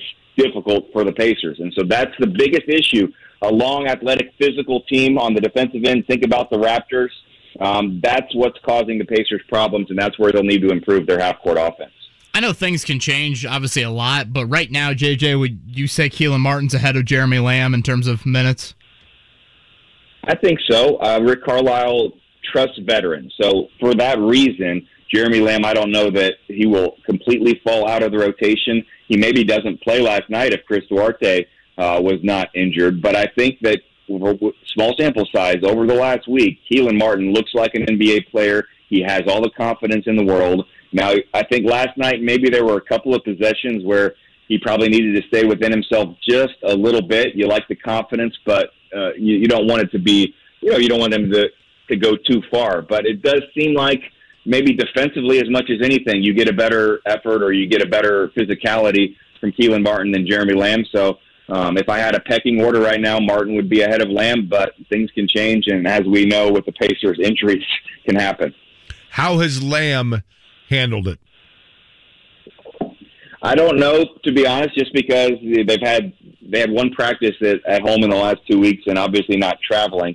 Uh, I don't think it's probably something that he liked. I, I was trying to watch him a little bit on uh, Saturday night, and it looked like he was clapping, but then maybe you know having some conversations in the huddles with with some people. I, I would be naive to say that I know exactly. You had a, you had the same viewpoint that I did actually on Saturday, Jake. So um, that's as close as I know, and I have not specifically asked anyone. But it will be something to monitor moving forward. And you know, things can happen. Changes can be made in the middle of the season. It will be interesting to see if if he gets back into the rotation, or if he is someone with his three point shooting that another team might value. I feel like Jeremiah the Pacers have good low post play. I mean, both offensively and defensively complementing one another, perhaps in Sabonis and Turner. They have good backcourt play between, you know, Brogdon and obviously LeVert and Duarte. But where they lack is a truly attacking from the wing type player. Is that me being hypercritical or is that a clear void within this team? I don't think it's being critical at all. It's the last couple of years it's the one thing I was thinking that you know when you look at some of the hypothetical trades and, and rumors, it was maybe the position that if you could add to the roster, it's where you wanted to add. But I do think that when they got T.J. Warren, he was able to fill some of that role, and that's where you miss a little bit in a game like last night. It's easy to forget about what T.J. Warren is capable of doing because it's coming up on you know 12 months almost that he's been out of action, but he can make some of those plays on the wing that's where I think when to your question about Martin and Lamb, Martin is someone who fills that role a little bit more than Lamb, but but he is not at that level as, as you would maybe need in in a close game down the stretch. So I do think it's an area of weakness. They've got the bigs, they've got the backcourt players. You know, a Paul George type player, right? Paul George isn't coming back. You don't have a guy like that that's just you know ready to to join the Pacers, but that kind of position, it does seem like some of the elite teams have and, and right now, at least with what they put on the court, the Pacers do not. Bally Sports Jeremiah Johnson joined us here. Uh, JJ, I thought you mentioned earlier, maybe it was on Twitter. Um, Isaiah Jackson could be playing soon, not with the Pacers, but maybe the Mad Ants. Yeah, this is really good news because when he went out in that game in Toronto, I think everyone feared the worst. And even after the game, I think it was Rick Carlisle said that he'll be out a while, and he was assigned to the Mad Ants. And so I did ask Carlisle after my interview last night if that was just a, uh, a transaction to allow him some time to work in Indianapolis and not be on the road trip. And he said that he has had two good practices and if all goes well, he could play on Wednesday. So that's a great sign. He's not in any kind of, uh, you know, no crutches, nothing after what happened to the knee. And so it does appear as though that was a scare, but that's all it was. And that you know, there's a chance, and I'm not going to say with 100% certainty right now, but at least it's trending in the direction to where he could play for the Mad Ants at Gainbridge Fieldhouse at noon on Wednesday. So if you needed any extra incentive to maybe uh, take a business day special there and get out go. to Gainbridge Fieldhouse, the opportunity to see Isaiah Jackson, someone that this franchise is thrilled to have, uh, someone that is a big part of the future. I don't know that this season on you know, the Pacers, he's going to be a big contributor, especially with how their front court is. But the best news is that he's healthy, and if he can get some reps with the Mad Ants, all the better. Pacers next at Gainbridge Fieldhouse on Saturday. A week, uh, all right, I take that back. This Saturday, taking on New Orleans. Before then, Wednesday and Friday on the road at Detroit and at Charlotte, respectively. Jeremiah Johnson will be on the broadcast. JJ, appreciate it. Jay, Kevin, great first couple of weeks, and I look forward to continuing to listen. You, you haven't listened, have you? You you don't get up till ten normally, right? Oh, come on! Come on now, I got I got kids, to getting drop on the off. bus at like eight o'clock, Jake. It's uh, Someone's got to iron those suits early in the morning. Fair, fair enough. Exactly. All right, we appreciate it. Thanks, Thanks, Jeremiah. JJ. Okay. Uh, time now for a Big O Tire Sports Center update. The Sports Center update on 93.5 and 107.5 The Fan is presented by Big O Tires, the team you trust. By the way, I know the Pacers are playing the Pistons tomorrow, Jake, and you know that probably record-wise it doesn't really matter. But I really didn't watch much of Cade Cunningham in college, so I am eager to watch him tomorrow night. He had 25 last night. Uh, Real, really good player. Cade Cunningham, obviously number one overall pick out of Oklahoma State. That uh, Pistons team, again, not a whole lot uh, to show for. Three and ten on the, season. All right, Colts off day today before they get back to practice tomorrow. They take on the Bills Sunday, looking for their first win of the year against a team that has a better than 500 record. You look at the Bills right now, extremely balanced, both sides of the ball. Uh, now their schedule strength has not been great, but Jake, of all the teams in the NFL right now, they are the only one that has a point differential of more than a hundred. They have outscored their opponents by 145. I, I think we make so much about Josh Allen, rightly so. Their defense gets a little slept on, doesn't it? Yeah, I, I think that's fair. Josh Allen, the most talented quarterback in the NFL. I remember when Josh Allen was at Wyoming, only because I have an odd fascination with the University of Wyoming. I was just in Laramie. I think I told you. I know. No, why is that shocking? You're wearing a Shelbyville Golden Bears hat right now. Fair enough. Um, his story is a great one. Josh Allen's story, and is he the best? I, I think he might have the most natural, like God given talent. Yeah, that- that- that's what I think, yeah. Starting to come into, you know, he, he is he's learning how to play within himself for for certain, and turn into a nice player. You know how difficult it is to draft franchise quarterbacks. Major credit to the Bills. They traded up twice for a guy that was a what a fifty percent passer in college, fifty five percent. You know what's interesting? He was, but Kevin, if you really looked at it, his passing numbers, and I think this is where people got in trouble. They focused too much on his final year at Wyoming and didn't look at the year prior when he had two senior wide receivers that he threw up really good numbers and really good accuracy, and his numbers dipped, but he was also throwing to inexperienced receivers. And I think that Buffalo obviously did their homework and said, you know what, this guy can play.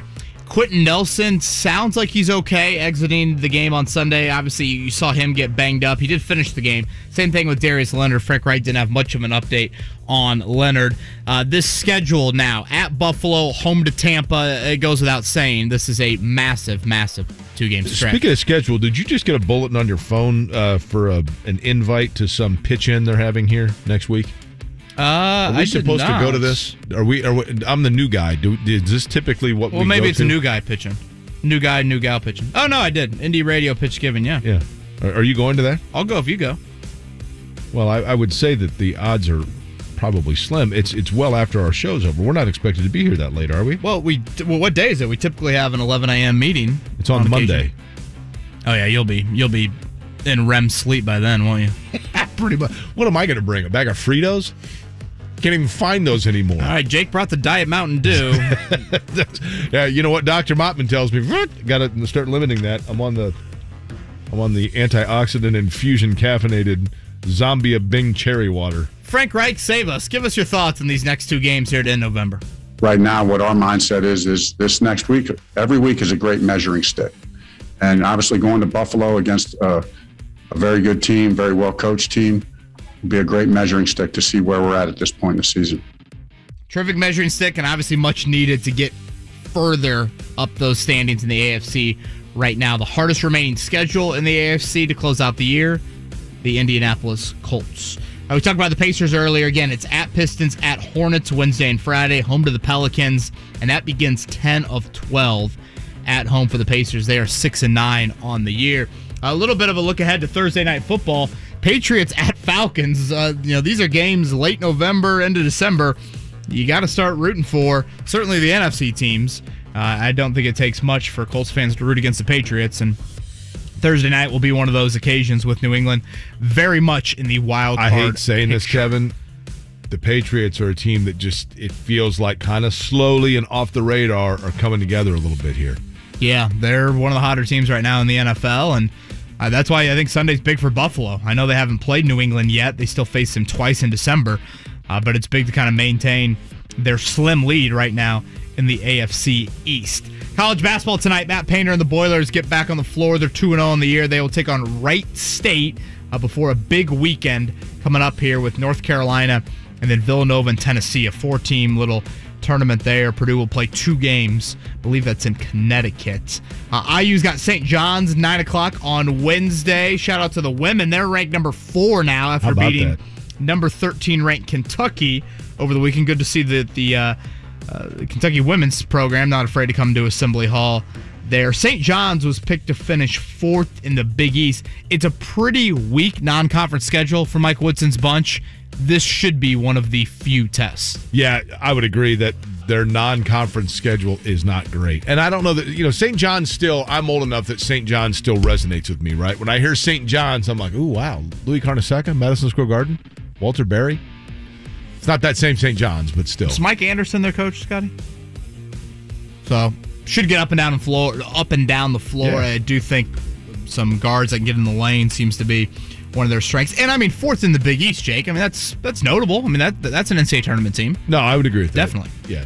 Uh, It- I mean, it, it ain't LIU Brooklyn. You know what I mean? No, it's not. It's not. Directional schools uh, still to be had on that schedule. Butler's going to host Michigan State. That's seven o'clock on Wednesday. I believe Aaron Thompson should be back for that one. Butler um, three and zero on the year. They won back to back games this weekend.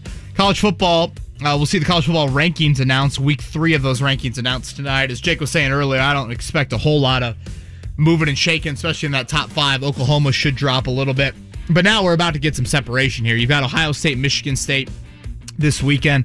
That's obviously going to eliminate um, one of those teams. Oregon uh, is at Utah. So, you know, not many challenges in the Pac 12, but it looks like that will be um, the one for Oregon. Jake, if you had to go with four playoff teams two weeks ago in the regular season, I assume Georgia and, and Ohio State are definites in your mind.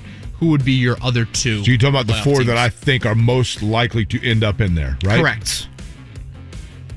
Georgia, Ohio State, Oregon, and Cincinnati. Because I think Georgia's going to beat Alabama, and I kind of agree with you. If, that's a seven point or more game, Alabama with two losses would be out. And I also think we need to separate Alabama's name. If you look at their resume, it's not this like top 10 filled win resume. I, I know. I, there's no doubt that they're resting on laurels a little bit there, right? Don't we have a committee for a reason? like they, they, they're they're supposed to take out the whole brand and past history and all of I that. I think Georgia and Ohio State are clearly on a different level from everyone else. One defensively, one offensively. I think under that scenario that you just mentioned, if Oregon and Cincinnati went out, they would round out correct the four teams there. Ohio State obviously taking out those other Big Ten teams. Uh, IU Minnesota Saturday. Minnesota favored by five. IU still looking for their first. That's in Bloomington or Minneapolis? win. That is in Bloomington, I believe. How are you a five point dog at home against Minnesota? I mean, PJ Fleck rows a boat. Do you know how long it's going to take them to row a boat down 37? I mean, it, it- you know what I mean? Right. How It's not even open. You guys said Lake Monroe was the next exit. Well, they got to go around Mooresville and pick up some Levi's Right, I at the gonna outlet. say, yeah, 67 and stop at the cafe there. Was That's it- right. Is this still there? Yeah, I think so. What, what- what's it called? Gray, Gray Bros? Gray Brothers Cafeteria? Yeah. Yeah. Uh, Purdue Northwestern Saturday. That's from Wrigley. Purdue favored by nearly two touchdowns. Um, the bucket game that kickoff time has been announced 3:30 next Saturday. Uh, that will air on FS1. At this point for Purdue, it's just about you know slotting into a bowl game as they try to get to eight wins on the year. By the way, Eric Wannenberg says he put a Diet Mountain Dew in the fridge and a, and a uh, Sunkist for you as the pitch in for Monday, just for the two of us. Perfect. Gosh, Oh, yeah. I feel like I'm 12 again. Uh, Notre Dame, Georgia Tech. Notre Dame favored by 18 uh, in, in that one. Then they are at Stanford to close out the year. So it looks like an 11 1 season for the Irish. We've got the IHSA state football finals next weekend at Lucas Oil Stadium. The odd classes will be on Friday, noon, 3.30, and 7, kind of around there. And then the even classes on Saturday, 2A, 4A, and 6A. In 6A, the matchup Center Grove and Ben Davis in the Southern Semi State, Westfield and Merrillville up north. Other local teams still in action Cathedral and Zionsville in 5A, Mount Vernon 4A, Brebeuf and Tri West in 3A, Scecina in 2A. Lutheran and Tri. I had to look up where Tri was, Jake. Uh, just a little bit south of It's Newcastle. the Tri area. Thank you for clarifying Yeah, that. Yeah. just so you know, that's what they Thank say you. there. Yeah. Yeah, Any Tri hats in your closet? No, I- is isn't there a Tri County? There is. My mother taught at So Tri. Tri is different than Tri County. I think so. I don't know that for certain though. Tri pretty much explains. Isn't there a Tri Central too? Tri West. Yeah, they they are still alive. Try is the single word that best describes my academic high school career at North Central. Right? Oh, T R Y. Yeah. Pretty Isn't much. there a Trine as well? A college? Yes. That's uh, that's in Angola, is it not? Used to be Tri-State, right? Tri-State. There you go. It's in the tri-state area. When you when I say tri-state area, what three states do you think of? Most people, I think, around here would think of like Kentucky, Ohio, Indiana, and down near Cincinnati. Yeah, that would have been my guess. Is there But you go up there. Well, you go up there, and where Tri-State University Trine is, Michigan, Ohio, Ohio. Michigan, Indiana. Interesting. Uh, these are just the kinds of questions that Scott Johnston comes up with for the pop quiz. He's walked into the studio, and that means the pop quiz is next. 239 1070. It is Kevin Aquari. This year, our average client saved over $350 a month with an easy rate reduction refinance. TheHomeLoanExpert.com. NMLS number 1326241. Presented for the people by Caesars Sportsbook. The Goblet has dropped. Download it. Must be 21 and up. If it's after lunch, I probably wouldn't have fed him to the Titans. I get a little ornery when I'm hungry, and timing is everything, people. That's why my Sportsbook app has live in-game betting for football. I don't care if the game has already started. If the time to make your move is in the second half, go for it. Caesar's got to. Caesar likes to move freely. That's why I'm partial to the total. Must be 21. If you or someone you know has a gambling problem and wants help, call 1 At Huntington, we've been asking ourselves is it possible to lend money at zero interest? And it totally is. Introducing Standby Cash. When you need extra cash, you can qualify for between 100 and $1,000 at Huntington. And it's free when you auto pay us back across three months. Why would a bank do that? Just to look out for people. That's how we reinvent banking. Huntington. Welcome. Without automatic payments, 12% APR. Eligibility requirements apply. Amount available is based on customer eligibility. Learn more at huntington.com slash. Your health is everything.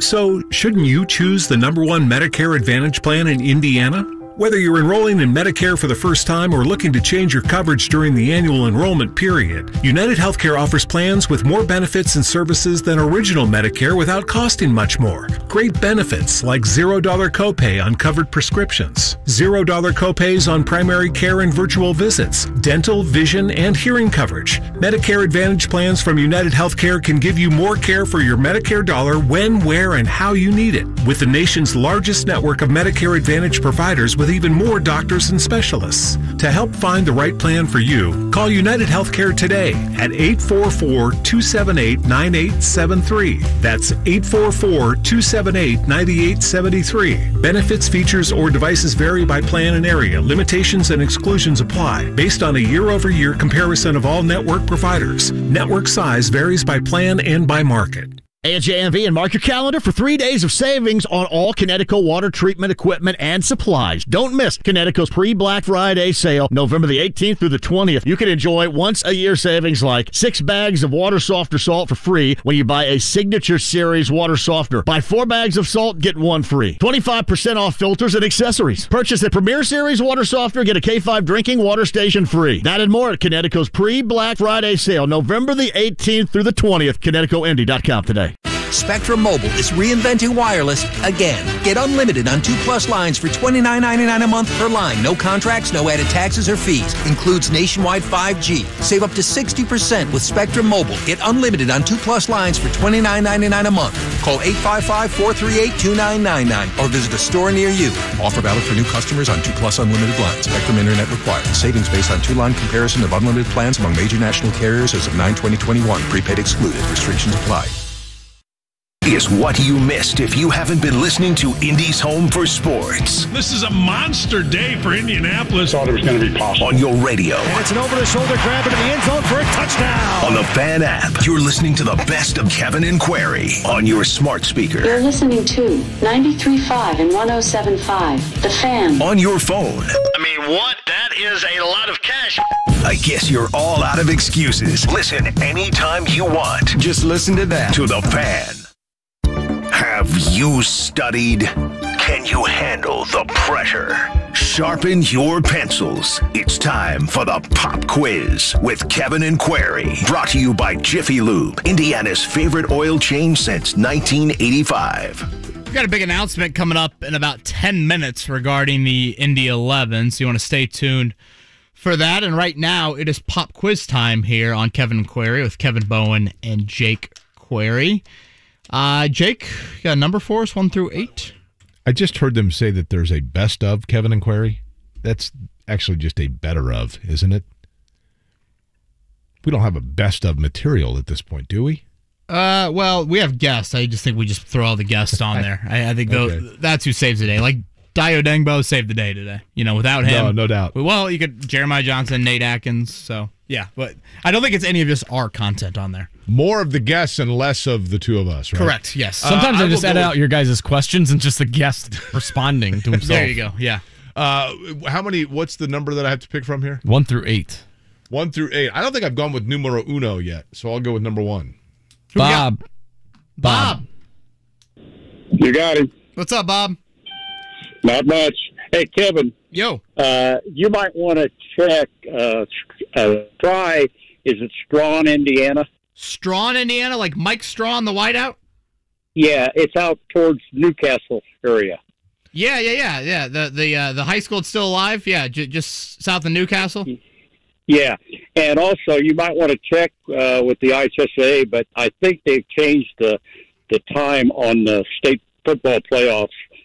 Uh, it's it's going to be by a locale now, as opposed to two four six.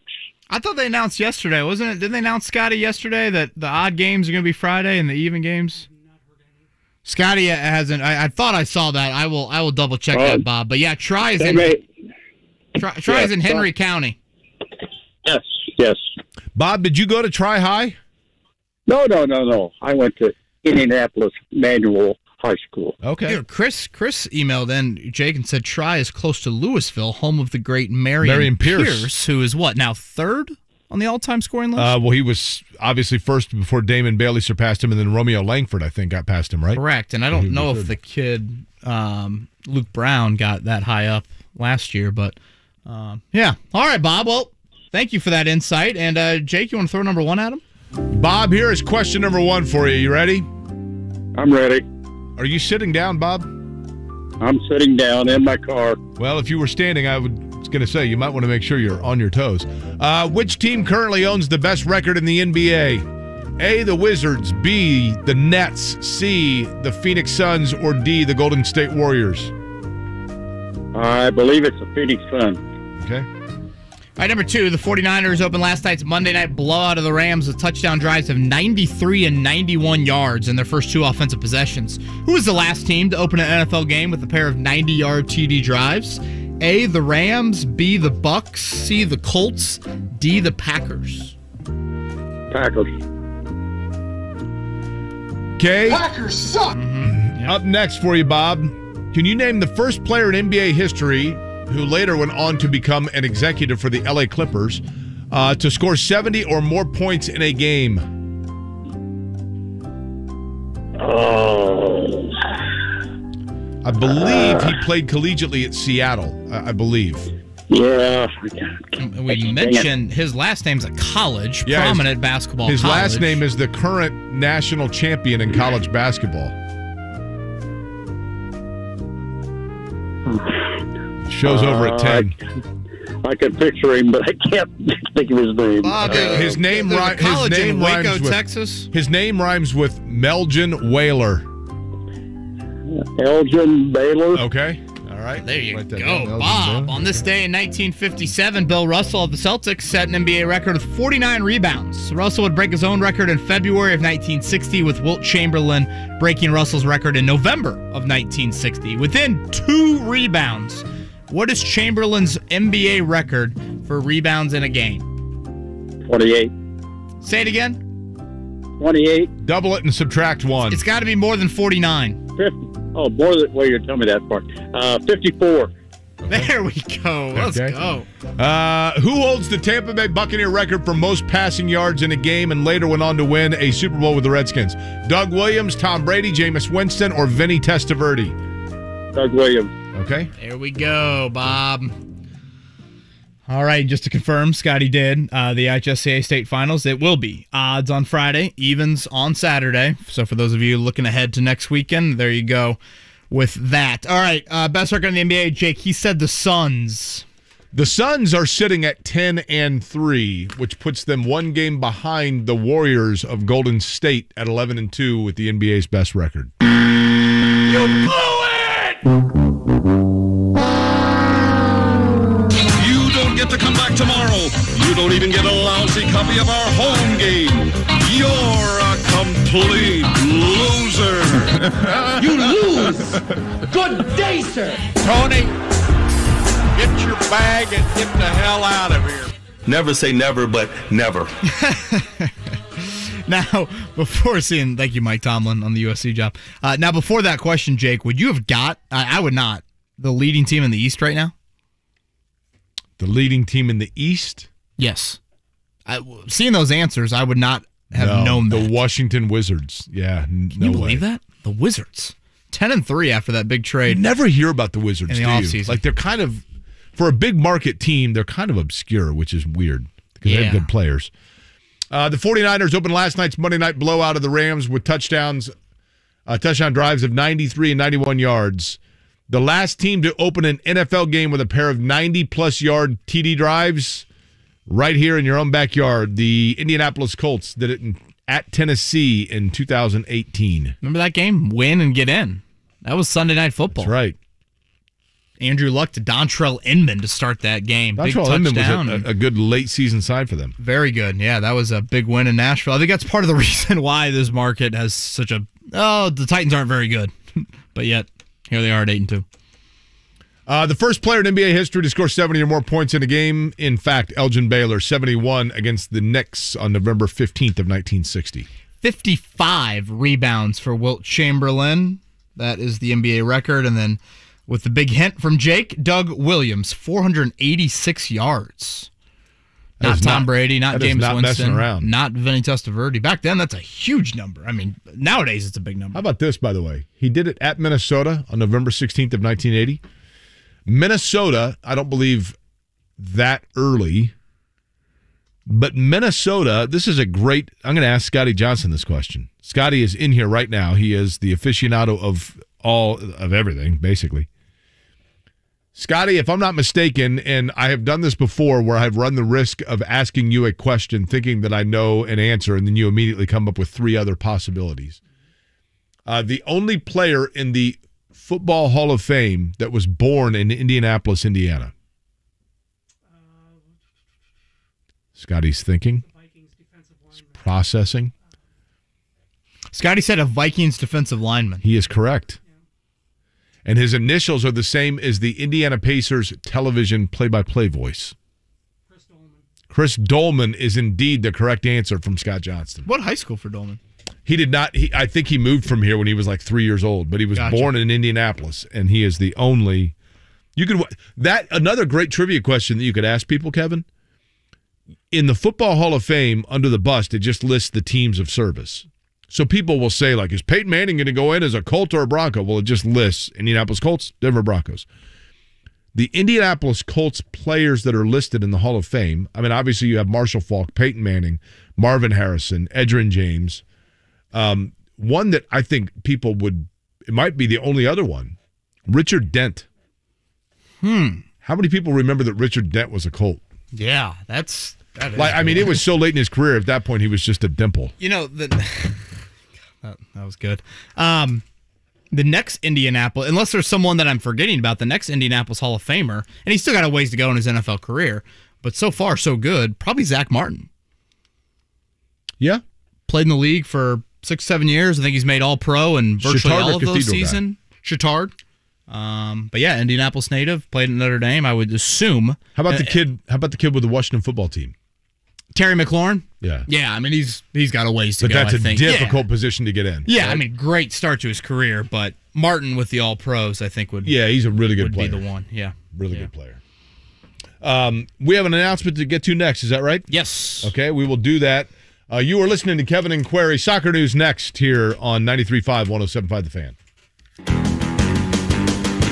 We've done it again. While other lenders are talking about raising their rates, our expert team at Golden Oak Lending has dropped rates even lower. I'm James Hawkins, president of Golden Oak.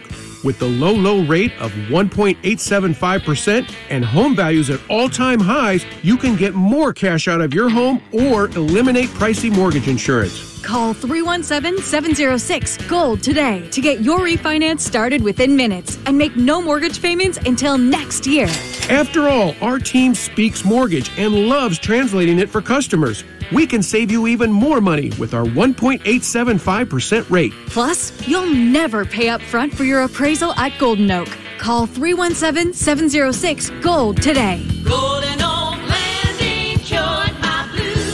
NMLS 114937, 1.875% fixed, 2.952% APR, FHA 15 year mortgage with 20% equity and approved credit. Hey, it's JMV here. Did you know the lack of sleep from snoring can lead to other health issues for both the snorer and the snorer's partner? My friends at Aurora Specialty Sleep Clinic can help you. You can eliminate the need for cumbersome, uncomfortable, and noisy, expensive CPAP machines in some cases, and it does work. Find out how. It may be covered by insurance and Medicare. Get a deeper, more restful, and rejuvenating sleep today. A better night's sleep is just an appointment away. StopYourSnoreNow.com or 317 482 7900. Bet Rivers Sportsbook is ready to make this football season one to remember. All season long, you can score at Bet Rivers Sportsbook with free bets, odds boosts, and more. With player props, thousands of game lines, and live in-game betting, Bet Rivers Sportsbook delivers a best-in-class sports betting experience and has an experienced customer service team to back it up. Visit Bet Rivers Sportsbook today and bet this football season with a local trusted team that puts you first. Go to BetRivers.com and be a winner. Partner of French Lick Casino Resort. Must be 21 or over. Gambling problem? Call 1-800-9-WITH-IT. 1-800-994-8448. Playable only in Indiana. Indiana. Hey, this is Jeff Saturday, and you've heard me talk about More Restoration for years. And yes, it's true, I've used More Restoration on my home three separate times for a fire and flooding. I care about my family, and More made me feel confident in using them. Kenny and the team at More have just become a part of First On Site, making them one of the largest restoration companies in Indiana and North America. Same people, same personal customer service, but large enough to handle any loss, any disaster with First On Site. When you need help, call the people Jeff Saturday calls. Call More Restoration, a First On Site company. For the first time in the history of Hard Knocks, HBO and NFL Films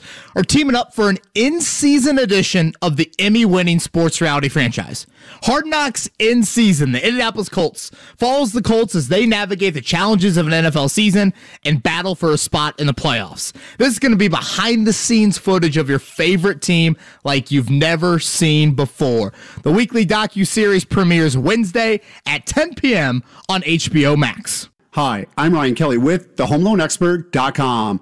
This year, our average client saved over $350 a month with an easy rate reduction refinance. What would you do with an extra $350 a month?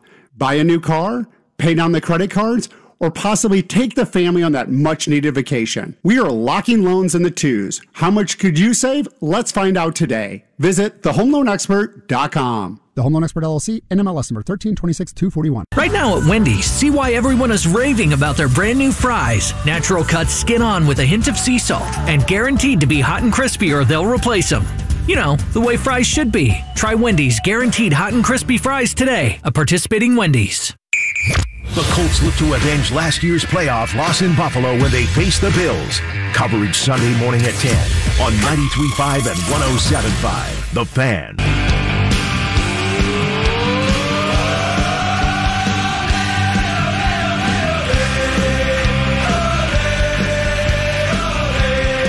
Listening to Kevin and Query on 93.5 and 107.5. The Fan. Hey, Jake, someone tweeted at me as the Indy 11 announcement to say that they have signed Lionel Messi. Uh, maybe this is the first step in that process. Uh, without a head coach, I don't know who you, you're signing as players. And uh, the 11, they have a new coach. He is Mark Lowry, and he joins us now on the Payless Liquors hotline. Coach, congrats and welcome to Indy. Appreciate the welcome, guys. I'm looking forward to it.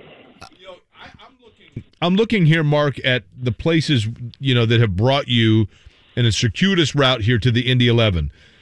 Places like England, Orlando, Florida, Jacksonville, Florida, El Paso, and the first thing I think to myself is, "Good Lord, do you own a winter coat?" I owned a few back in England, then I threw them out, and I've just bought a few recently, so I'll, I'll, I'll be okay. I think. so, what is it about uh, this franchise, this opportunity? You know, you have. I, I always get fascinated by when when guys have had numerous stops because you can kind of take a little piece, maybe, of what you've learned along the Mm-hmm. way, if that makes sense. What is it about this opportunity that most was intriguing to you? That, that makes total sense. You know, every everywhere you go, you know, it's important to be there long enough to, to make an impact and, and to learn something and to leave the place in a better situation when you got there, and also leave as a better coach or a better person. I think I've done that every one of my stops, and I think the big thing about this one, this move was was the challenge. Um, in the eleven, I see, and and a lot of people see them as one of the biggest clubs in the league in terms of tradition, history, fan base, um, ambition, all those things, and they've underachieved the last couple of years. Um, for whatever reason, they haven't made the playoffs two years in a row, and that challenge of kind of waking up a giant, if you guess, is is really appealing to me, and I, and I like the challenge. So this was one that, that I thought was great for me in the next step of my career, you know, in terms of my growth as a coach. And, and I like a challenge. Challenge gives you energy, and, and, and I'm now energized to go and do that. The fourth head coach in the history of Indy 11, Mark Lowry, joins us most recently with the El Paso Locomotive. Um, you, you mentioned that challenge. Would you say it was the history and the appeal of Indy 11, or more of what you see in this roster as, hey, I can go in there and this can be a pretty quick fix? Well, it was the history and appeal, definitely. And then I think, based on the ownership and leadership of the club, that I know for a fact they're very supportive of the coach, and and they provide the players and the coaches um, what they need on a day-to-day basis to the resource that they need to be successful. So, I think this club deserves success. I think the leadership, ownership, the fan base deserve that, and like I said, I want to be the guy that, that, that can bring that consistently now. Now, Coach, this is just a peak cheesy radio question here, but my wife and I have just gotten done watching Ted Lasso, and I don't know if you have had a chance to watch, or I guess I should I ask that first. Have I you have. watched? I love it. I Okay. have. I love it. You, I love if it. you had to compare your coaching style to a member of Richmond's coaching staff, who would you compare it to? I'm probably a bit of a mixture of Ted and Nate. Okay. I think that's a good one. Could you could could you share the qualities? Because the, Yeah, there are some absolutely. interesting So qualities. you betray yourself. That's cool. um, you know, I think Ted, the way he builds relationships with players and, and, and cares for the players, that's I think that's one of my strengths. Um, that, that, that, that bond that you get with your players and, and how you empathize with them and can help them through their day to day life as a man, as a husband, as a father, and also as a player on the field. Um, those things I think are really important for the modern day coach. Um, so I think Ted obviously brings a load of that, you know, in abundance. Um, and then I think Nate was kind of more the tactician behind the scenes. So tactically, I feel like that's one of my strengths as well in game adjustments, um, game management, stuff like that. I think Nate bought that, and, and you know, I just don't have a beard, so I can't be Coach Beard. You know, so I guess those two is it for me. You find yourself spitting in the mirror a lot in the morning time. I mean, you know. hey, no, no, that never happened. Coach, let me ask you. You know, the, the roster is still in flux as well for the Indy Eleven. Mark Lowry, their new head coach, is joining us here on the Payless Liquors Hotline. How much input will you have in terms of the roster and? For those like myself who are admittedly kind of a neophyte when it comes to soccer, you know, what style of play are fans going to see when they come out to see your team? Well, yeah, we'll start with the roster. Obviously, there's going to be a bit of transition. Um, I have my my own thoughts on players, and, and the club is going to give me, you know, authority to make those decisions. I think that's important for for a coach to have that uh, to feel like he can build his own roster. There are there are a number still on contract. Um, I won't get into who, but it's exciting to work with those guys as well. But there obviously will be. I think the fans and everybody can expect some change to the roster because, first of all, that's soccer. That that's that's soccer at this level. There's a lot of change, and, and usually, though, once I get my team in place, you'll see in El Paso, um, I like to keep it together for as long as possible because I think building the understanding over one, two, three years is really important. So once I get the core group together, you know, I don't like to change it much. But obviously, right now, this is a club in transition, uh, transition of coach, transition of direction in terms of want to start going up instead of down. Um, so there will be changes to that, and then, uh, like I said, bringing those players and they have to match my style. Um, I can only. The truth is, any coach is only as good as the players he has in the field, and, and, and a big part of that is recruiting the right people. My style is about frankly, it's about hard work. It's about guys running for each other, chasing for each other, passion and energy. Um, that's at the forefront of everything we do. So guys are willing to do that and invest in each other and sacrifice for each other. They're the type of players I'm gonna, um, I want on this team. Is it true that people from England can sniff out a fake British accent from a mile away? Yeah, I think we can. I think we can. Yeah.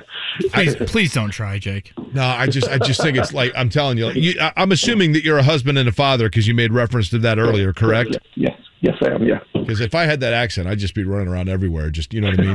How are you? you know, and I'm- maybe Stop, buy you a stop. pint. Mark, uh, it's a great passion. I think you're gonna love Indianapolis. I think uh, it's a perfect place Aside to from my uh, accent. to raise a family. As long as you don't run into Jake and you know people trying to imitate British accents That's at, the, at at the local uh, pubs around town. Um, I think you're absolutely gonna love it. And again, I think it's an ideal place uh, to raise a family. So welcome and uh, congratulations, Appreciate it, guys. Thanks for the chat. I've enjoyed it. Mark Lowry, the How about new this? head coach of the Appreci- Indy 11. Appreciate you guys. Thanks for the chat. Enjoyed it. It's pretty close, right? Yeah, I'd, I'd give it about a. I I think re- reminiscent of your high school resume. Now, I did you take foreign languages in school growing up? Spanish. Is that it? Yes. Never took French. No, took Spanish, tested out a, a handful of credits going to IU, and that was good. Took four years in high school. I had to have Man, I struggle with it. At IU, I had to have two foreign languages. Took Spanish, right? Jeez, what was your major? English. Makes perfect sense, right? You Yeah, have to exactly, eight right. semesters of foreign language. So I took uh, four semesters of Spanish, and then for my second foreign language, I well, I'll take French, right? That was the next.